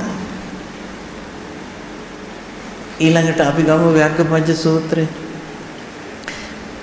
ව්‍යග්ගපංච සූත්‍රය එයා කියන්නේ අපි ඉතින් ස්වාමීනි කාම්භෝගයයි ගිහි අය. දරුවන් නිසා බාධක වුණු ඇඳක නිදා ගන්න අය. ඈ කසීර් සඳුන් රටින් ගෙනාපු සඳුන් අරවම පාවිච්චි කරන අය.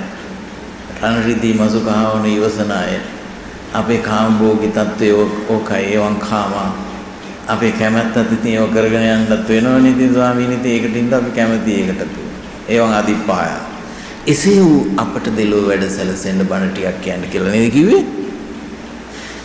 ඒ අවස්ථාවේදී තථාගත බුදු පියාණන් වහන්සේ මෙලෝ ජීවිතේට සම්පත් හතරක් දේශනා කළා බොහොම ප්‍රසිද්ධයි කවුරුත් දන්නවා මම ඒක නම් කරන්න ඕනේ. උත්තාන සම්පදාය නම් කියන්නේ.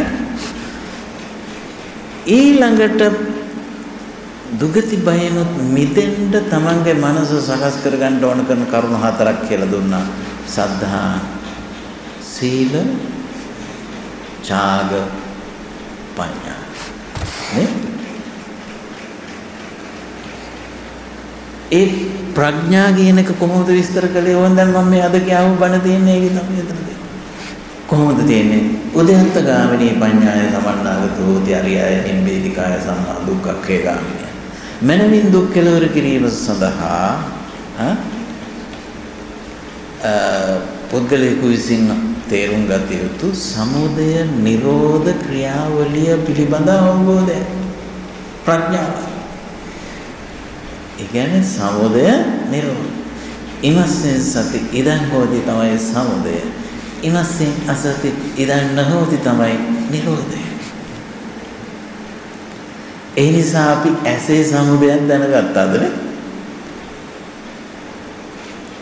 පැරණි කර්ම නිසා මේ ඇසක් හදාගත්ත එක ඇත්ත. එය නමුත් අපි මොහොතක් මොහොතක් පාසා උපදවන්නේ රූප අරමුණු කරමින් ඇස උපදවන නේ? ශබ්ද අරමුණු කරමින් කන උපදවන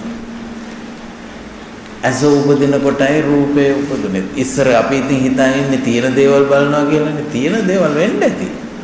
නමුත් මම බලාපු වෙලාවෙ ඉඳන්නේ මට දැක්මක් උනේ අර කතන්දරය කිව්ව නේද අර භද්‍රකගේ. භද්‍රකගේ ස්වාමි දියණිය බිරිඳ දැක්කවන් නැති කාලයක් තිබුණා. ප්‍රශ්නයක් නැහැ. නමුත් දැක්ක තැන ඉඳලා එයාට කරදරයක් වෙනවට භද්‍රක කැමති? අන්න ආව ප්‍රශ්නේ. දැන් හරියනේ. යමක් දෙයක් වෙන්නේ කොතනද අපට? අත්දැකීම. සලායතනික අත්දැකීමක් වශයෙන් තමයි අපට යමක් දෙයක් වෙන්නේ. එතකම් අපට කිසිවක් දෙයක් නොවේ. ලේසි තැනක් මේ කියන්නේ තේරුම් ගන්න පහසුයි නේ. අනික ඔක්කොම හේතු සාධක අර හේමක අහපු විදිහට එක්ක අතීතෙට එක්ක අනාගතයට බලන්නකො හේමකගේ කාර්යයක් මෙතෙන්ට අරගෙන මං කිව්වා. භද්‍රගේ කාකව කතන්දරෙත් මෙතෙන්ට අරන් මං කියලා දුන්නා. හ්ම්? ඊට පස්සේ කවුද? මහාකාශ මහකච්චායන හාමුදුරන්ගේ බණ අහපු හාමුදුරන්ට කියලා දුන්නු ටිකත් මං අරන් දැන් කිව්වා. මේ නාම රූප උපදින්නේ මේ දැන්. එනිසා අපි අපේ හිත කැළඹෙන හැම අවස්ථාවක කැළඹෙන අවස්ථාව නේ කැළඹුණත් නැත අපි මේ අත්දකින්නේ නාම රූප ලෝකයේ කියන බව අපේ ජීවිතයේ අත්දැකීම් ලැබෙන මොහොතේ හැකිතාක් හඳුන ගන්න බලන්න. ඒ හඳුන ගන්නා පමණට මොකද වෙන්නේ? ඒවා ඔස්සේම වෙන සංකල්පනා විසින් අපිව මෙහෙවන එක අඩු වෙන්න පටන් ගන්නවා. තතෝ නිදානම් පුරිසම් පపంచ සංඥා සංකා සමුදාචරන්ති කියලානේ තියෙන්නේ. ඔය කියන ඉන්ද්‍රිය අධ්‍යක්ීම් ක්‍රමය ඔස්සේ මවා ගන්නා වූ අධ්‍යක්ීම් විසින් ඒ අනුව ගොඩනගාගත් තෘෂ්ණාමාන දිට්ඨි විසින් දැන් මාව මෙහෙවනවා. දැන් මාව මෙහෙවලා. ඒ තැනට යන්නේ නැති වෙන්න ටික ටික අපි මේ අවබෝධයන් දියුණු කරගන්න. පැහැදිලිනේ? එතකොට අපිට තියෙන්නේ මෙතන නාම රූප ලෝකයේ තේරුම් අරගන්න. බුදුහාමුදුරන් වහන්සේ වදාලා මේ නාම රූප සම්බන්ධතාව විඥානෙත් එක්ක නාම රූප සම්බන්ධතාව යම් තාක් තිබේද ඒ තාක් තමයි මේ සසර තියෙන්නේ.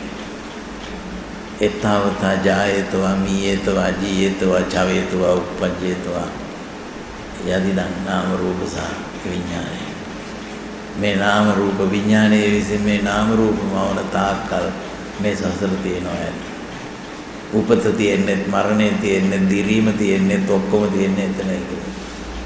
එතාවතා අදිවචනපතෝ නිරුත්තිපතෝ පඤ්ඤාතිපතෝ යදිදන් නාම රූප සහ විඥාන. අපි මේ කතා කරන ඔක්කොම වචන හදාගත්තේ අපේම නාම රූප වලින්නේ. නේද? අපි නාම රූප අත්දැකීමකට නමක් දානවා. ටික වචනයක්. ඒ නමෙන් කියවෙන දේ ඇත්ත ලෝකේ තියෙනවා කියලා අපි හිතා ගන්නවා. ඔන්න රැවටිල්ල.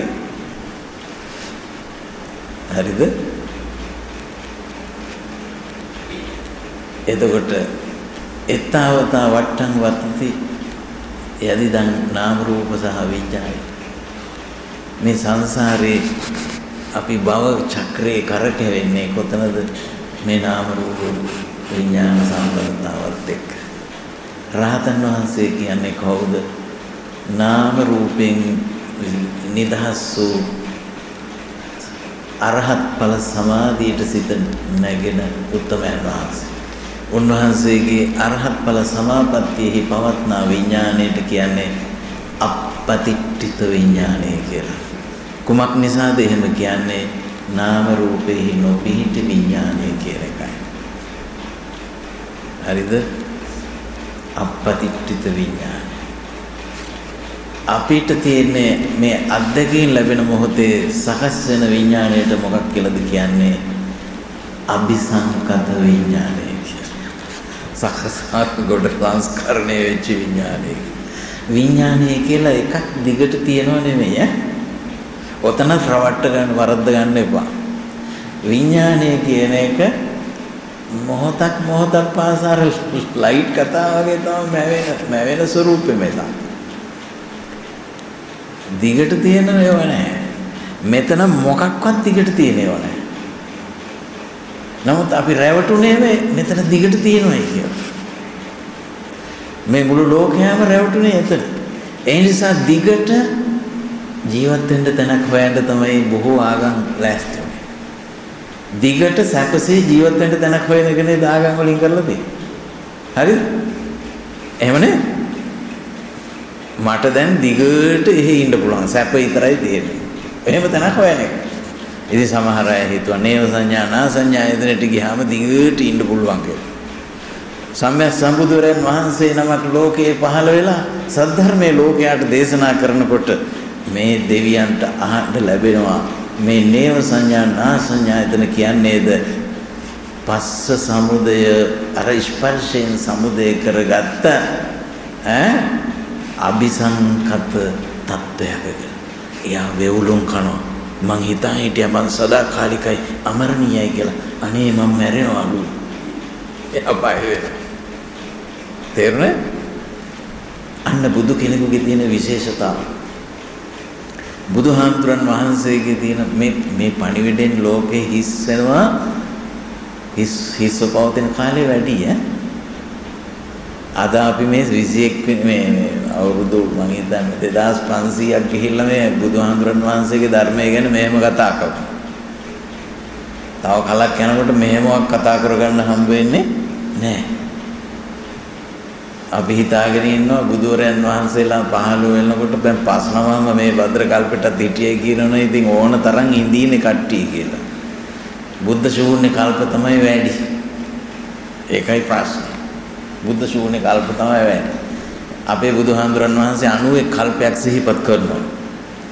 ඒ 91 කල්පේ සිහිපත් කරනකොට 90 මේන් අතීතයට 91 වෙනි එකට ගණන් වැටෙනකොට එන බුදුහාමුදුරුව තමයි විපස්සී බුදුහාමුදුරුව. විපස්සී බුදුහාමුදුරුවොත් මේ නවිඥාන නාම රූප තමයි හොයාගත්තේ කියන එක මහා පදාන සූත්‍රයේ අපේ බුදුහාමුදුරුවෝ දේශනා කරනවා. මෙන්න තැන කියලා. හ්ම් මේක තමයි අපි තේරුම් අරගන්න. ඉතින් කොහොම හරි ඒ විපස්සී බුදුහාඳුරෝ ගේ පටන් ගත්තාම හත් නමයි ඔය 91 කල්පෙට ඉන්නේ. විපස්සී සිකී වෙසපු කකුසඳ කොණාගම කාශ්‍යප ගෞතම ඒ බුදුවරයන් වහන්සේලා හත් නමෙන් හතර නමක්ම මේ කල්පයට යයිද? එතකොට අර 90ටම අනේ කොයිතරම්නම් හිස්ව පවතින ඇත දිගට බුදු කෙනෙකුගේ නාම මාත්‍රයක්වත් නැතුවනේ මේ නාම රූප කතාව දැනගන්න හම්බෙන්නේ අපිට. ඒ හින්දා අපි දිගට ඔහෙ ඉන්න කෙනෙක් කියලා හිතාගෙන රැවට රැවට දිගින් දිගට ආවා. දැන් අපි මේක දැනගන්න ඕන. ඒකටයි මේක කතා කරන්නේ. දැන් කීයට බණ පටන් ගත්තද මට මතක නැහැ. දැන් නම් පැය දෙකක් බණ කියලා දෙනවා. මට පේන 6ට පටන් ගත්තා. දැන් 8යි වෙලා. අහන්න මොනවද තියෙනවයි කියලා තියෙනවනම් අහන්න. දැන් මම හුඟක් ප්‍රශ්න විසඳෙන්නත් එක්ක තමයි මේ බණ කියන ගමන් කරුණ මතු කරනවා.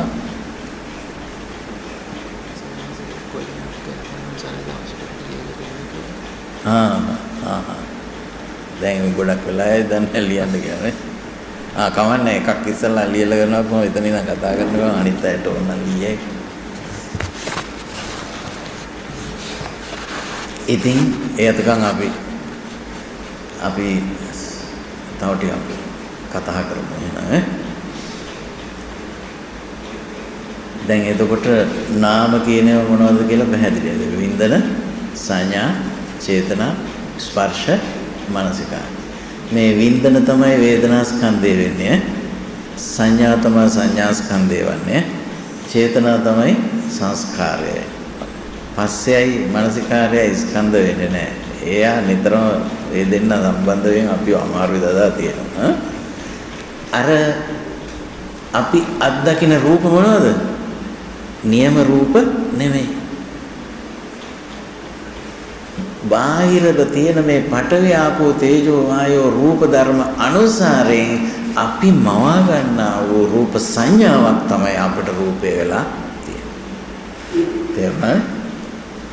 එතකොට අන්න ඒ රූප තමයි අපේ සියුම් උපාදානස්කන්ධ රූප උපාදානස්කන්ධ වලට මේක පිළිඹු වෙන්නේ කොහෙද? පිළිඹු කරන්නේ මොකක් විසින්ද? විඥානයේ විසින් මේ කාර මේ ස්වභාවය පිළිඹු කරන. පස්සන්නරෝ දක්ඛිතේ නාම රූප. දිස්වානවා ඤසති තානිමේ මොනතරම් දේවල් දැක්කත් ඒ දකින්නවා කියලා අපි දැකලා තියෙන්නේ මොකද්ද? අපේ මනසේ විඥානයේ විසින් පිළිඹු කර දුන් නාම රූපය අපි දැක්කේ අත්දැකේ. දිස්වානවා ඤස්සති තානිමේව දැකලා ඒ කියන්නේ ඒක දැකලා දැනගත්තේ අපි මොකද්ද? ඒ නාම රූප ලෝකය තමයි අපි දැනගන්නේ නේ. දිස්වානවා දැකලා ඤස්සති තානිමේව දැනගන්නේ ඒකමයි වෙන මොකක්ද මවාගත් එක අන්තිමට දැකලා තියෙනවා. හරි වැඩේ වෙලා තියෙනවා. මේ සත්‍ය අපට ලෝකේ කියලා දෙන්නේ සම්බත් සම්බුදුරයන් වහන්සේ නම. ඒ නිසා මේවා තේරුම් ගත්තාන් පස්සේ අපට සීලයත් සමාධියත් පහසු වෙන හැටි තමයි මම ඊළඟට සම්බන්ධ කරේ මේ කාරණාවට. ඉතින් ඔක හොඳට තේරුම් ගන්න. ඉතින් ඒක නිසා ඔය අපේ බුදුහාමුදුරන් වහන්සේ ඔය සමහර සූත්‍ර දේශනාවලදී මේ ස්පර්ශය ගැන කියලා දෙනකොට කොතනද මේක වෙන්නේ කියලා. අර නාමයත් රූපයත් ප්‍රත්‍යයෙන් තමයි ස්පර්ශය. නාමංච රූපංච පටිච්ච පස්ස. බුදුරජාණන් වහන්සේ මේ ලෝකයේ තියෙන සියලුම දෘෂ්ටිවාද මත සංකල්ප ප්‍රතික්ෂේප කරන්නේ මොකක් කියලාද? ඔය ඔක්කොම පස්සේකින් හදාගත්ත මත පස්ස සමුදයන් සම්බේදම එහෙම නැත්නම් තදපි පස්සපච්චය ඔක්කොම ස්පර්ශයෙන් හදා. දැන් අපි කියමු මේ අපි දුරේක්ෂයක් පාවිච්චි කරලා ඒතා දුර ඈත ආකාශ වස්තුවක් නිරීක්ෂණය කරලා ඒ පිළිබඳ දැනුම එක්කව කරනවා කියන්නේ. අන්තිමට මොකද්ද මෙතන තියෙන්නේ? නාම රූප ඇරෙන්න වෙන මොකක්වත් තියෙද? තියෙද? නාම රූප ක්ෂේත්‍රේ පුලුල් කරලා එච්චරයි. ඒ නිසා බුදුහන්තරන් වහන්සේ වදාලා සුළුෙන් දැක්කත් ලොකුෙන් දැක්කත් ඒකේ 아무ත්තක් නැත. අපංවා බහුම්වා අපි නාම රූප ලෝකයේ අත්දැකලා මෙන්න මේ සත්‍යතාවම තමයි අපි තේරුම් අරගන්න ඕන. ඒ තුල තමයි අපේ මනසට සැහැල්ලුව එන්න පටන් ගන්න. සිතවිලි බර කරගන්නේ නැහැ. දැන් අපි සාමාන්‍යයෙන් අපි නිදසුනක් හැටියට ගමු. මහමග වාහනයක් පදවගෙන යනවා ඇතිනේ මේ අය නේද මේ පින්වතුන්නේ වාහන පදවගෙන යනවා නේ මම දැන් කොහේ හරි රෙඩ් ලයිට් වැටෙන වැටෙනකොට මොකද වෙන්නේ අපිට සතුටුද සතුටක් දැනෙනවද? දැන් අපි නිකන් අහලා බලමු. සතුටුද? රෙඩ් ලයිට් වැටුණා. කැමතිද? කැමති නැහැ ඉතින් එහෙනම් ඉතින් හරි වැඩන්නේ. රෙඩ් ලයිට් එක නැතුව කොහොමද? අපිට එහෙම පැත්තක් හිතෙන්නේ නැහැ නේද එකපාරට? අපෝ පාරට බැස්සොත් ඔහොමමයි ගියේ බැන බැන යනවා. දැන් මේ නාම රූප ලෝකේ නේද මේ කරක් ගහන්නේ? දැන් අපි ඒක පිළිගන්නවා. රෙඩ් ලයිට් එක වැටුණා. කිසිම දෙගිඩියාවක් නැතුව ඒක පිළිගන්න ඕන හිතෙන් ඈ.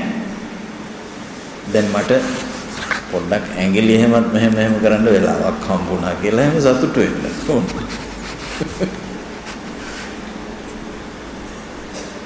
අපි ඒ එහෙම නොදක කොහොමද හරියනවද? හරියන්නේ නැහැ නේද? මොකද මේ ලයිට් සිස්ටම් එක එපාද එතකොට? අපි ඔච්චර අකමැති වෙන්නේ. කේන්ති ගන්න. ආ එතකොට ඕනේ ඕම වාහන ඔක්කොම එක එක එක හේතු කරගෙන ඉන්නකොට මෙතෙන්ට මේ ලයිට් සිස්ටම් එක දාන්න එපා. මේ මිනිස්සු දේව කරන්නේ නැහැ. ඕන තැනට නෙමෙයිනේ දාන්න කීකියත් කෑ ගන්නවා නේද ඊට පස්සේ අව දාපු ගමන් ඕන් අර මලයිලව මෙතෙන්ටත් දාලා දැන් මේ මිනිස්සයා සන්තුෂ්ත කරන්න බැරි කුමක් නිසාද මිනිස්සයා Taman ගත කරන මේ අද්දකින් ලෝකේ නියාමය දන්නේ නැති නිසා මේ පූදුන් ලෝකයා මොන ආණ්ඩුකම ව්‍යවස්ථාවකටවත් සම්දෝෂ කරන්න පුළුවන් එකක් නෙමෙයි. අපි ඒක දැනගන්නවා. ඒ නිසා බුදුහාමුදුරන් වහන්සේ යෝජනා කරපු දේ තමයි හරි සබ්බම් ඔක්කොම අතහරින. පටිනිස්සග්ගානුපස්සී අතහරිනින් බලලා. පැහැදිලිද? මේ අතහැරීමේ ක්‍රමය ඉගෙන ගන්න පටන් ගත්ත අයට තමයි බෞද්ධයෝ කියලා කියන්නේ. හරිද? දැන් එයා අතහරින්න දැනගත්තා. දැන් අපි හිතමු මේ වහිනවා වහිනවා වහිනවා ඉවරයක් නැහැ. හරි කරදරේ අප්පා. ඉවර වෙන්නේ නැද්ද මන් දන්නේ පායනකොට පායනවා පායනවා පායනවා ඉවරයක් නම්මෝ කොයි වෙලාවෙ වැස්සක් එයිද දන්නේ ඔය දෙක ගැන හිතලා බැලුවත් අපි මොන තරම් පරස්පර විරෝධී සිතිවිලි ධාරාවන් ගොඩනගමින්ද ඉන්නේ ඈ මේ විදිහේ මනසේ නන්නත්තර වීම බෞද්ධයාට තරම් වෙන දෙයක් නෙමෙයි. ඒකයි මම මේ කියන්නේ. මොකද යා නාම රූප ලෝකයක් මේකට කරගෙන ඉන්නේ කියලා දන්නවා. මේ නාම රූප ලෝකෙන් අත්මිදෙන්නයි අපේ වැඩ පිළිවෙල සකස් වෙන්න ඕන කරන්නේ. ඒ සඳහා පිළිවෙතට බැස්ස කවුද? අනාථ පිණ්ඩික සිටුතුමාගේ ප්‍රඥාව ගැන ඕනනම් මම කියන්නම් මේ වෙලාව වෙලාව තියෙනවා. කමක් නැද්ද? ඔන්න අනාථ පිණ්ඩික සිටුතුමා දවසක් බුදුහාමුදුරුවෝ හම්බෙන්න යනවා. අනේ ඉතින් හම්බෙන්න යනකොට කල්ුණා එතුමට හිතුණා කල් වැඩි අද. තව ටිකක් පහුවෙලා යන්න ඕන. ඒ නිසා මං යන්න ඕන ආන්හර පරිබ්‍රාජකාරාමයක් තියෙනවා එතෙන්ට. ගිහිල්ලා ඒගොල්ලොත් එක්ක ටිකක් කතා කර කර ඉඳලා යනවා කියලා ගියා. එතකොට එයාත් මොකද කළේ ආන් එනවා ගෞතම බුදුහාමුදුරන්ගේ ශ්‍රාවකෙක් එන්න එන්න කියලා බොහොම සතුටෙන් පිළි අරන් ඊට පස්සේ දැන් කතාවක් පටන් ගත්තා. මේ අය අහනවා සිටුතුමාගෙන් ඔය බුදුහාඳුරන්ගේ දෘෂ්ටිය මොකක්ද? අනේ ස්වාමීනි මන්නම් දන්නේ බුදුහාඳුරන් වහන්සේගේ දෘෂ්ටිය. හරිද? එහෙනම් ওই භික්ෂූන්ගේ දෘෂ්ටි මොකද්ද? අනේ ස්වාමීනි මම ওই භික්ෂූන්ගේ දෘෂ්ටි මොනවද කියන්නවත් දන්නේ නැහනේ. ඕ ඒ ඔකක්වත් දන්නේ නැද්ද? එහෙනම් අඩු වශයෙන් එහෙනම් තමුන්නේගේ දෘෂ්ටියවත් අපිට කියන්නකො. ඉතින් සිටුතුමා hina වෙලා හැම කියන්නේ ඇති. ඉතින් hina වෙන්න ඇති කියලා මම කියන්නේ. මට ඉතින් ඔබ ඔය ඔකට උත්තර දෙන්න හුඟක් ලේසි ඔයගොල්ලෝ ඔයගොල්ලන්ගේ මත කියන්නකො බලන්න දෘෂ්ටි. එතකොට මට කියන්න ලේසි මේක කියලා. ආ හොඳයි හොඳයි. ඔන්න එක්කෙනෙක් කියව දෘෂ්ටි 10ක් ඒ වෙලාවේ ඉදිරිපත් වුණා. ඒ ඒ දෘෂ්ටි නම් කරන්න ගියොත් මම හිතන්නේ මේ පිංගුතුන්ට ඒක මහා පටලවිල්ලක් වෙන්න පුළුවන්. ශාස්ත්‍රත අසස්ත්‍රත කියවෙන ගොඩක් ඒවා. හැබැයි මේ හැම දෘෂ්ටියක් මේගොල්ලෝ ඉදිරිපත් කරනකොට කිව්ව එක වචනයක්. මේක තමයි අත් අනිත්‍යව බොරු. දැන් එක්කෙනෙක් එකක් කියලා හිටන් ඕක තමයි අත් අනිත්‍යව බොරුයි කියනවා.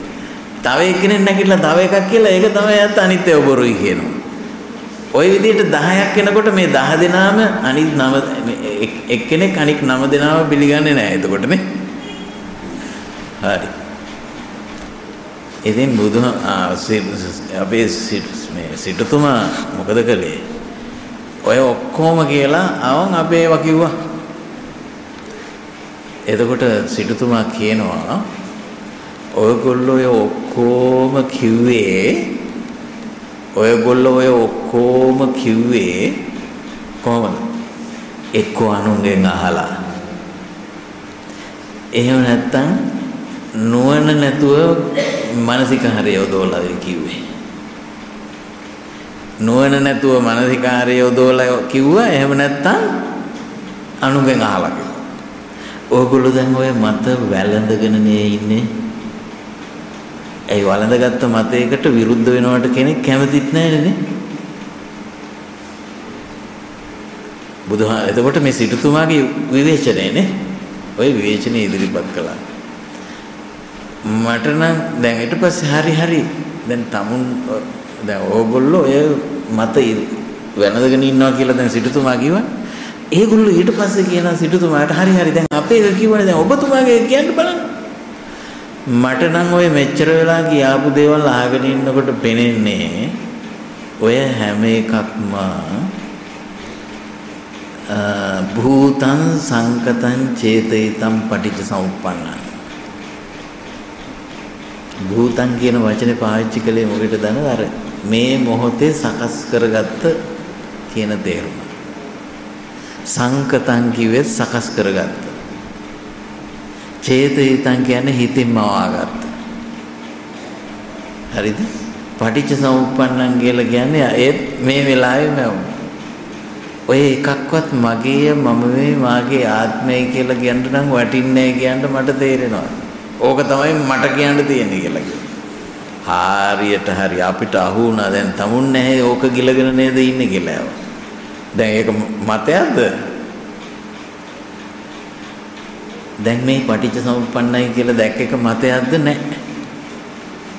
සිටුතුමා කියනවා නෑ කලබල වෙන්න එපා. ඕකේ මට ගිල ගන්න දෙයක් නැහනේ. ඔය මම දන්නවනේ මේ මොකද අර බෞද්ධයාගේ සම්මාදිට්ඨියනේ මේ කිව්වේ නේද? ඒ සිටුතුමා මේ මහඳුන්වනේ තමන්ගේ සම්මාදිට්ඨිය නේද? මේ ඔක්කොම භූතං සංකතං චේතිතං පටිච්චසමුප්පන්න. අර මේ වෙලාවේ අපි මොහොතක් පාතක් පාසා කියලා කතා කරපු කතාව. මේක තමයි වෙන මොකුත් නෙමෙයි. ඕක ඉතින් මම දන්නවා ප්‍රඥාව ඉස්සරහට යනකොට මේක අතහරින්න තියෙන පිළිගැනීමක් විතරයි කියන මම දන්නවා. තස්සච උත්තරින් නිස්සරණං යතා භූතං පජානා. ඕකෙත් මතු අතහැරීමක් ඇතයි මම දනිමි. මට නම් කිසිම මතයක් නැත. සම්මා දිට්ඨිය කියන එක වැළඳගත්ත දෙයක් නෙවෙයි. අපි ඉතින් බෞද්ධයෝ නිසා වෙනත් අයගෙන් බුදුදහම රැකගන්නත් අපි වාද කරනවානේ.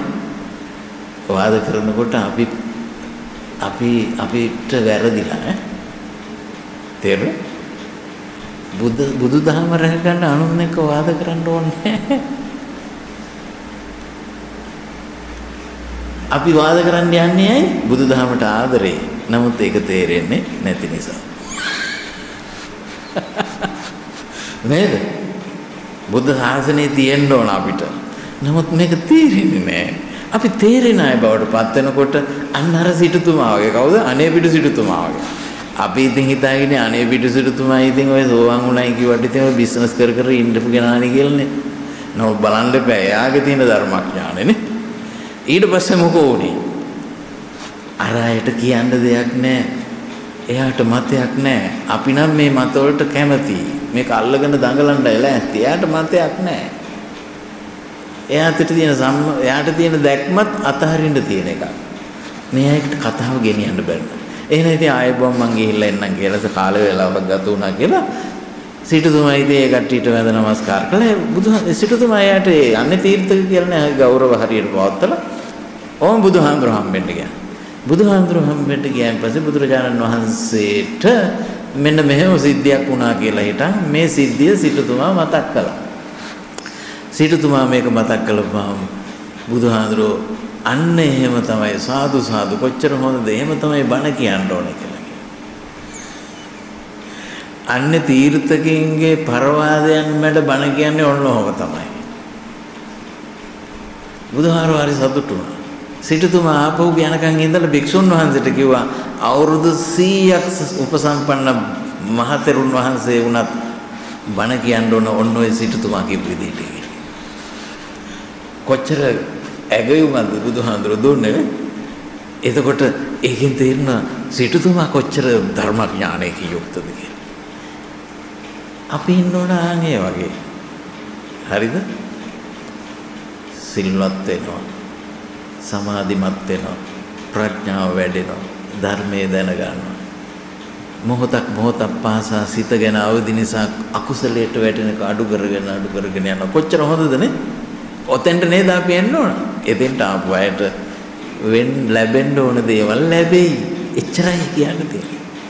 ඕන් එහෙනම් තව ටිකක් විස්තරයක් කළා. ප්‍රශ්නයක් තිබුණා නම් මට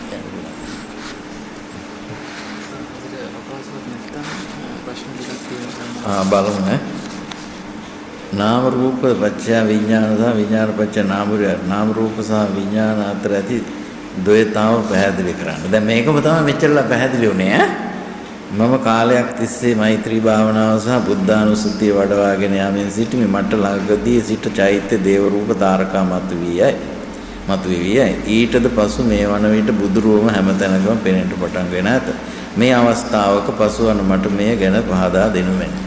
දැන් මේ තමන්ගේ තියෙන ශ්‍රද්ධාව නිසා තමන් භාවනා කරගෙන යනකොට මේ විදිහට බුදුහාමුදුරුවෝ පේනවා ඊට පස්සේ දැන් අපි ඊට පස්සේ දැන් අද පෙනුන්නේ නැහැ නේ කියලා එහෙම දුක් වෙනවනේ සමහරුනේ. දැන් ඕක බලන්නත් එක්ක තමයි දැන් වාඩි වෙන්නේ බොහෝ වෙලාවල් වලට. ඔය වැඩේ අතහරින්න ඕනේ. කවුරු හරි මේ ප්‍රශ්න ඉදිරිපත් කරන ඒක අතහරින්න කවුරු හරි මේ ඒ ඔක්කොම මේ මනසේ මැවෙන ප්‍රකල්පිත දේ පමණයි. මනසේ අபிසංස්කරණයන් පමණයි.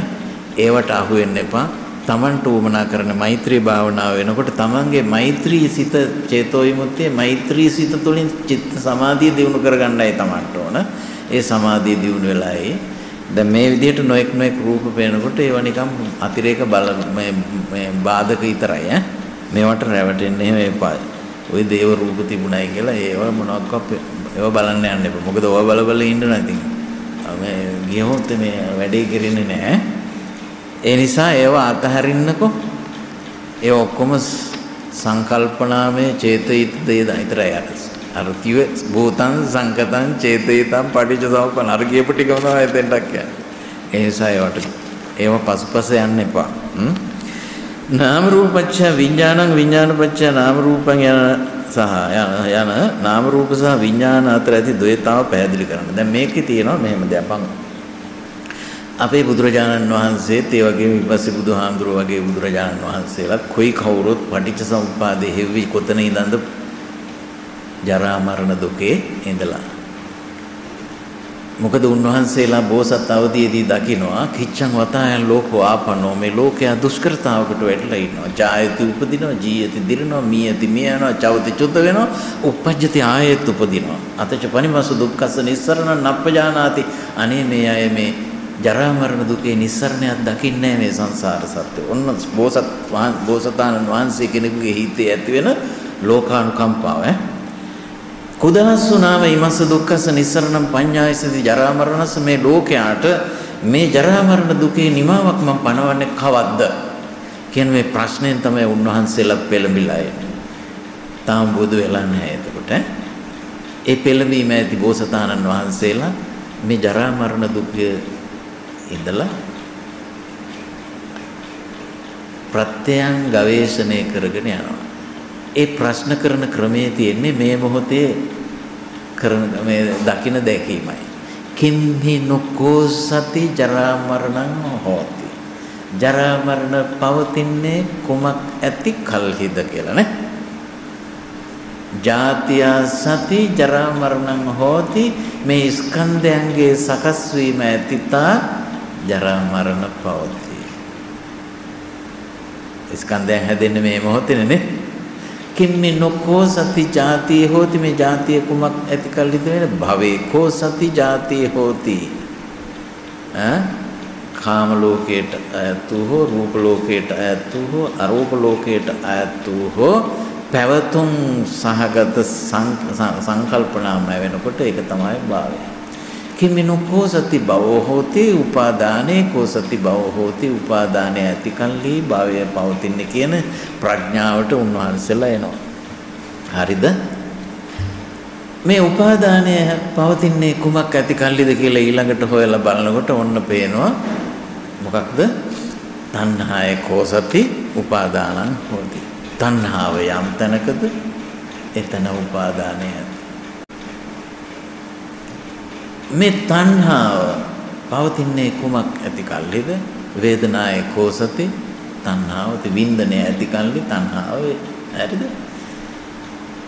ඊළඟට මේ වින්දනය කොතනද මේ පවතින්නේ? පස්සේ කෝසති වේදනාවති ස්පර්ශය ඇති තැන වින්දනය වේ. ස්පර්ශය. ඔය කිව්වේ මොන ස්පර්ශයද? අපේ අර සලායතන ස්පර්ශය. චක්කු සම්පස, සෝත සම්පස, ගාන සම්පස, જીවහා සම්පස, කාය සම්පස, මනෝ සම්පස කියන මේ ස්පර්ශය මේ ස්පර්ශයේ පවතින්නේ කුමක් ඇති කල්ගිද? ආ සලායතනේ කෝසති පස්සෝ හෝති කිව්වේ ඒද තමයි. ආයතන හයක් නම් පස්සේ එතන තියෙනවා. දැන් මේ එන්න එන්නේ නාම රූප ගාවට මේ සලායතන යම් පවතින්නේ කුමක් ඇති කල්ගිද? නාම රූපේ කෝසති සලායතනං හොති නාම රූප ඇති තන සලායතන වේ. සලායතන පවති. මේ නාම රූප පවතින්නේ කුමක් ඇති? විඥානේ කෝසති නාම රූපං මේ නාම මේ එතකොට මේ විඥානේ පවතින්නේ කුමක් ඇති? නාම රූපේ කෝසති විඥාන. අන්න මේ කියපු ප්‍රශ්න. නාම රූපච්ඡන්සා විඥානස විඥානපච්ච නාම රූපං කියන අතර ඇති ද්වේතාව කියලා දෙන්නේ කියන්නේ මේ ඔතන තමයි. නාම රූප පවතින්නේ විඥානය නිසා විඥානය පවතින්නේ නාම රූප හැබැයි එතකොට මේ පවතිනොයි කියනකොට අර අර භව කතන්දරෙහි ගන්න එපා මෙතන. මේ විඥානය සමුදය වෙන්නේ නාම රූප සමුදයත් එක්ක. නාම රූප සමුදය වෙන්නේ විඥාන සමුදයත් එක්ක. මේ දෙක ද්වේ නල කලාපියෝ අඤ්ඤමඤ්ඤං උපනිසාය තිට්ඨේ. බට මිටි දෙකක් එහෙකට එකක් හේතු කරපුවෙන් පස්සේ කෙලින් කරලා එහෙකට එකක් බර දීලා තියෙනවනේ. එකක් අදිනකොට අනික වැට එකක් නැත්තම් අනික මේෙන් කෝක ඇද්දත් කමක් නැහැ අනික වැට නාම රූප නැත්තම් විඥාන නැහැ විඥාන නැත්තම් නාම. තව එකක් අපි දැනගන්න මේ නාම රූප කියන එකත් වින්දන සංඥා චේතනා පස්ස මානසිකාර කියන නාම ධර්ම ඇති තැන තමයි රූප ධර්ම සමුදය සිද්ධ වෙන්නේ. රූප ධර්ම සමුදය වෙනකොට තමයි වේදනා සංඥා චේතනා පස්ස මානසිකාර නාම රූප සමුදය සිද්ධ වෙන්නේ. මේ අපේ මේ අත්දැකීම් ලෝකේ මේ හැමතිස්සෙම සිදුවෙමින් තියෙන එක තමයි. ඒ නිසා අපි පරිස්සම් වෙන්න තියෙන නාම රූපය අල්ල ගන්නවද රැවටෙනවද අතහරිනවද කියන එක ඈ. එතනයි අපිට වැදගත්. මෙතන තමයි මේ විදර්ශනා විශේෂයට වැදගත් වන කේන්ද්‍රස්ථානය. නාම රූප විඥාන විඥාන නාම රූප යම් තාක් වේද තාවතා වට්ටම් වට්ටති ඒ තාක් මේ සසර වට කරකැවේ. දැන් අර මහා මොකද කාශ්‍යප බුදුහාමුදුරන් වහන්සේගේ කාලේ ඉගෙන ගත්තෙත් නාම රූප ගැනයි ගටිකාරනේ බුදුහාම අපේ බුදුහාමර අපට කියලා දෙන්නෙත් මේක ගැනයි. දැන් ඔය තේරුම් ගන්න මේවා මේක තමයි අපිට. එතකොට අර නාම රූප වල අඤ්ඤමඤ්ඤ පච්චේතාව දන්නේ නැති අපි මෙතන නාම රූපයි කියලාවත් දන්නේ නැති එකට තමයි අපි කියන්නේ අවිජ්ජා කියලා. මේ මවන්නේ දුකයි කියන එක දන්නේ නැහැ අපි ඊට පස්සේ සංඛාරද ඔතන අර අවිජ්ජා සංඛාර දෙක නැතුව මොකද්ද මේ කියපු වටිච්ච සමුප්පාද කියලා සමහර විට කෙනෙකුට හිතෙනවනේ නේද? ඔතන තියෙන සංඛාර තමයි කාය සංඛාරෝ, වචි සංඛාරෝ, චිත්ත සංඛාරෝ. ඒ කියන්නේ සිහි කල්පනා ඇති මිනිස්සෙක් සත්වයෙක් කියන අදහසට තමයි මේ ඔය කියන සංඛාර ටික ආයේ අස්වාස ප්‍රස්වාස වලට කියනවා කාය සංඛාර කියලා. විතර්ක ਵਿਚාර වලට කියනවා වචී සංඛාර කියලා.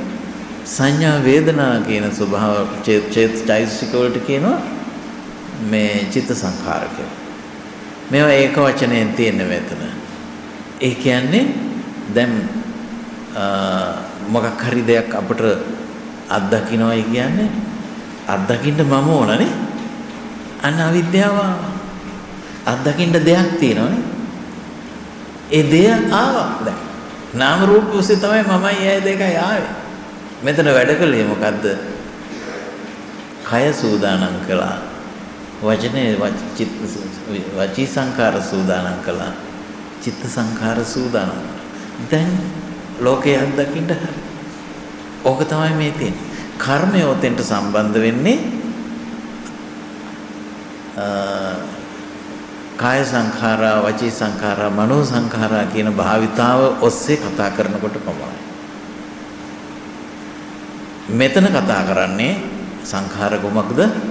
අර කාය සංඛාරෝ වචී සංඛාරෝ චිත්ත සංඛාරෝ වල. ඒ කතා කරන ওই විග්‍රහය තමයි පටිච්චසමුප්පාද විභංග සූත්‍රවල සූත්‍රයේදී බුදුරජාණන් වහන්සේ පෙන්වවදාළේ. ඒ නිසා මේක කරුණු දෙකක්. අරක නෙමෙයි මේක කියන්න ඕනෙත් නැහැ මේක නෙමෙයි ඒක කියන්න ඕනෙත් නැහැ මේක දෙකක්. ඒ දෙක අපි දෙවිදි ඒ කාරණාව තේරුම් ගන්න ඉතින් මෙන්න මේ අවිජ්ජා සංඛාර ස්වභාවයක අපි ඉන්න නිසා තමයි විඥාන නාම රූප වටේ නිතරම කරකැවෙන්නේ. මේකට තමයි වට්ටය කියලා කියන්නේ. වට්ටය කියලා කියන්නේ මේ මේ කරකැවිල්ල කියන්නේ මොකද ඒකට එකක් සම් දැන් ඔය ඔය මෝටර වල එහෙම නේද? කොහොමද ඒ කරකැවෙන්නේ අර දෙපැත්තේ තියෙන කාන්දම් කෑලි දෙකකින් එකකින් මේ පැත්තට අදිනවා අනිකෙන් අර පැත්තට. එතකොට කරකෙන්න පටන් ගන්නවා. ඕක තමයි අන්නේ වගේ. එතකොට අපි දකින්නේ කරකිල්ලක්. නමුත් මෙතන තියෙන්නේ නාම රූප විසින් විඥානය උපදවනවා. විඥානය විසින් නාම රූපය උපදවනවා. මෙන්න මේ ස්වභාවය අපි දැනගත්තාම අපිට අපේ සිත තේරුම් ගන්න පුළුවන්. අපේ ආවේග තේරුම් ගන්න පුළුවන් සිත සංසුන් කර ගන්න පුළුවන් ඈ මේවා තේරුම් අර ගන්නකොට එතකොට අපිට හරි ලේසි ඈ? බය නැතුව ධම්මගත් වඩෙනවා. ඈ? හොඳයි. සසර හුරු පුරුදු වෙච්ච ඒවල තියෙන බලගතුකම නිසා තමයි මේක අමාරු වෙන්නේ. නමුත් අපේ සිත සමාධි ගුණ දියුණු වෙන්න දියුණු වෙන්න අර සසර පුරුදු විසින් අපිව මෙහෙවන ගතිය අඩු වෙන්න පටන් ඒ ඒ ඒ ඒ අවකාශයෙන් අපි විදසුන් මානසිකාරයම දියුණු කරගෙන දියුණු කරගෙන යනවා. ඕක තමයි මේ සසන වැඩ පිළිවෙලදී. ඉතින් දැන් ඒ දෙකට උත්තර ඇතිනේ.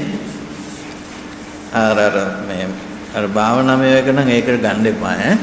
අපෝ මොනම දෙයක් පෙමුණත් ඒක ඒ හැම එකක්ම අபிසංකතයක් විතරමයි කියලා දැනගන්න ආය අපිට තියාගන්න ඕන කිසි දෙයක් පෙනෙන්නේ නැහැ. ඔය භාවනා කරනකොට පෙනෙන දේවල් තියාගත යුතු කිසිම දෙයක් පෙනෙන්නේ නැහැ. අතහැරිය යුතු දෙයක්මයි පෙනෙන්නේ. හොඳයි. එහෙමනම් ඉතින් මම මේ වෙලාවේ ධර්මානුශාසනාව නිමාවටපත් කරන්න පැය දෙකමාරකට ආසන්න කාල සීමාවක් මේ පින්වත්තුන්ගේ අවශ්‍යතා පරිදි මම කරුණු කතා කළා. ඉතින් ඒ වගේම මගේ දේශනා ඉතින් බොහොම ප්‍රියංකර දේශනා නෙමෙයි මේ ප්‍රියංකර වෙන්නයි මේ කරුණු කියන්නයි දෙකක් බෑ. මම ඉතින් මේ විදිහට කරුණු කාරණා පැහැදිලි කරන්න මානසික ගන්නවා. ඉතින් අපි ඒ ඇති කරගත්ත අවබෝධය අප සෑම දිනකටම මේ ජීවිතයේදී දුගති බයෙන් සපුරා අත්මිදෙන්ට නිවන් පිටුවෙත ස්ථාවර භාවයට පත් කරගන්නට සීලයත් සමාධියත් ප්‍රඥාවත් ස්ථාවර කර ගැනීම පිණිස අපට ශක්තිය ධෛර්යය මේ ආනිසංසෙ ලැබේවා කියලා කවුරු සාදු කියන්නේ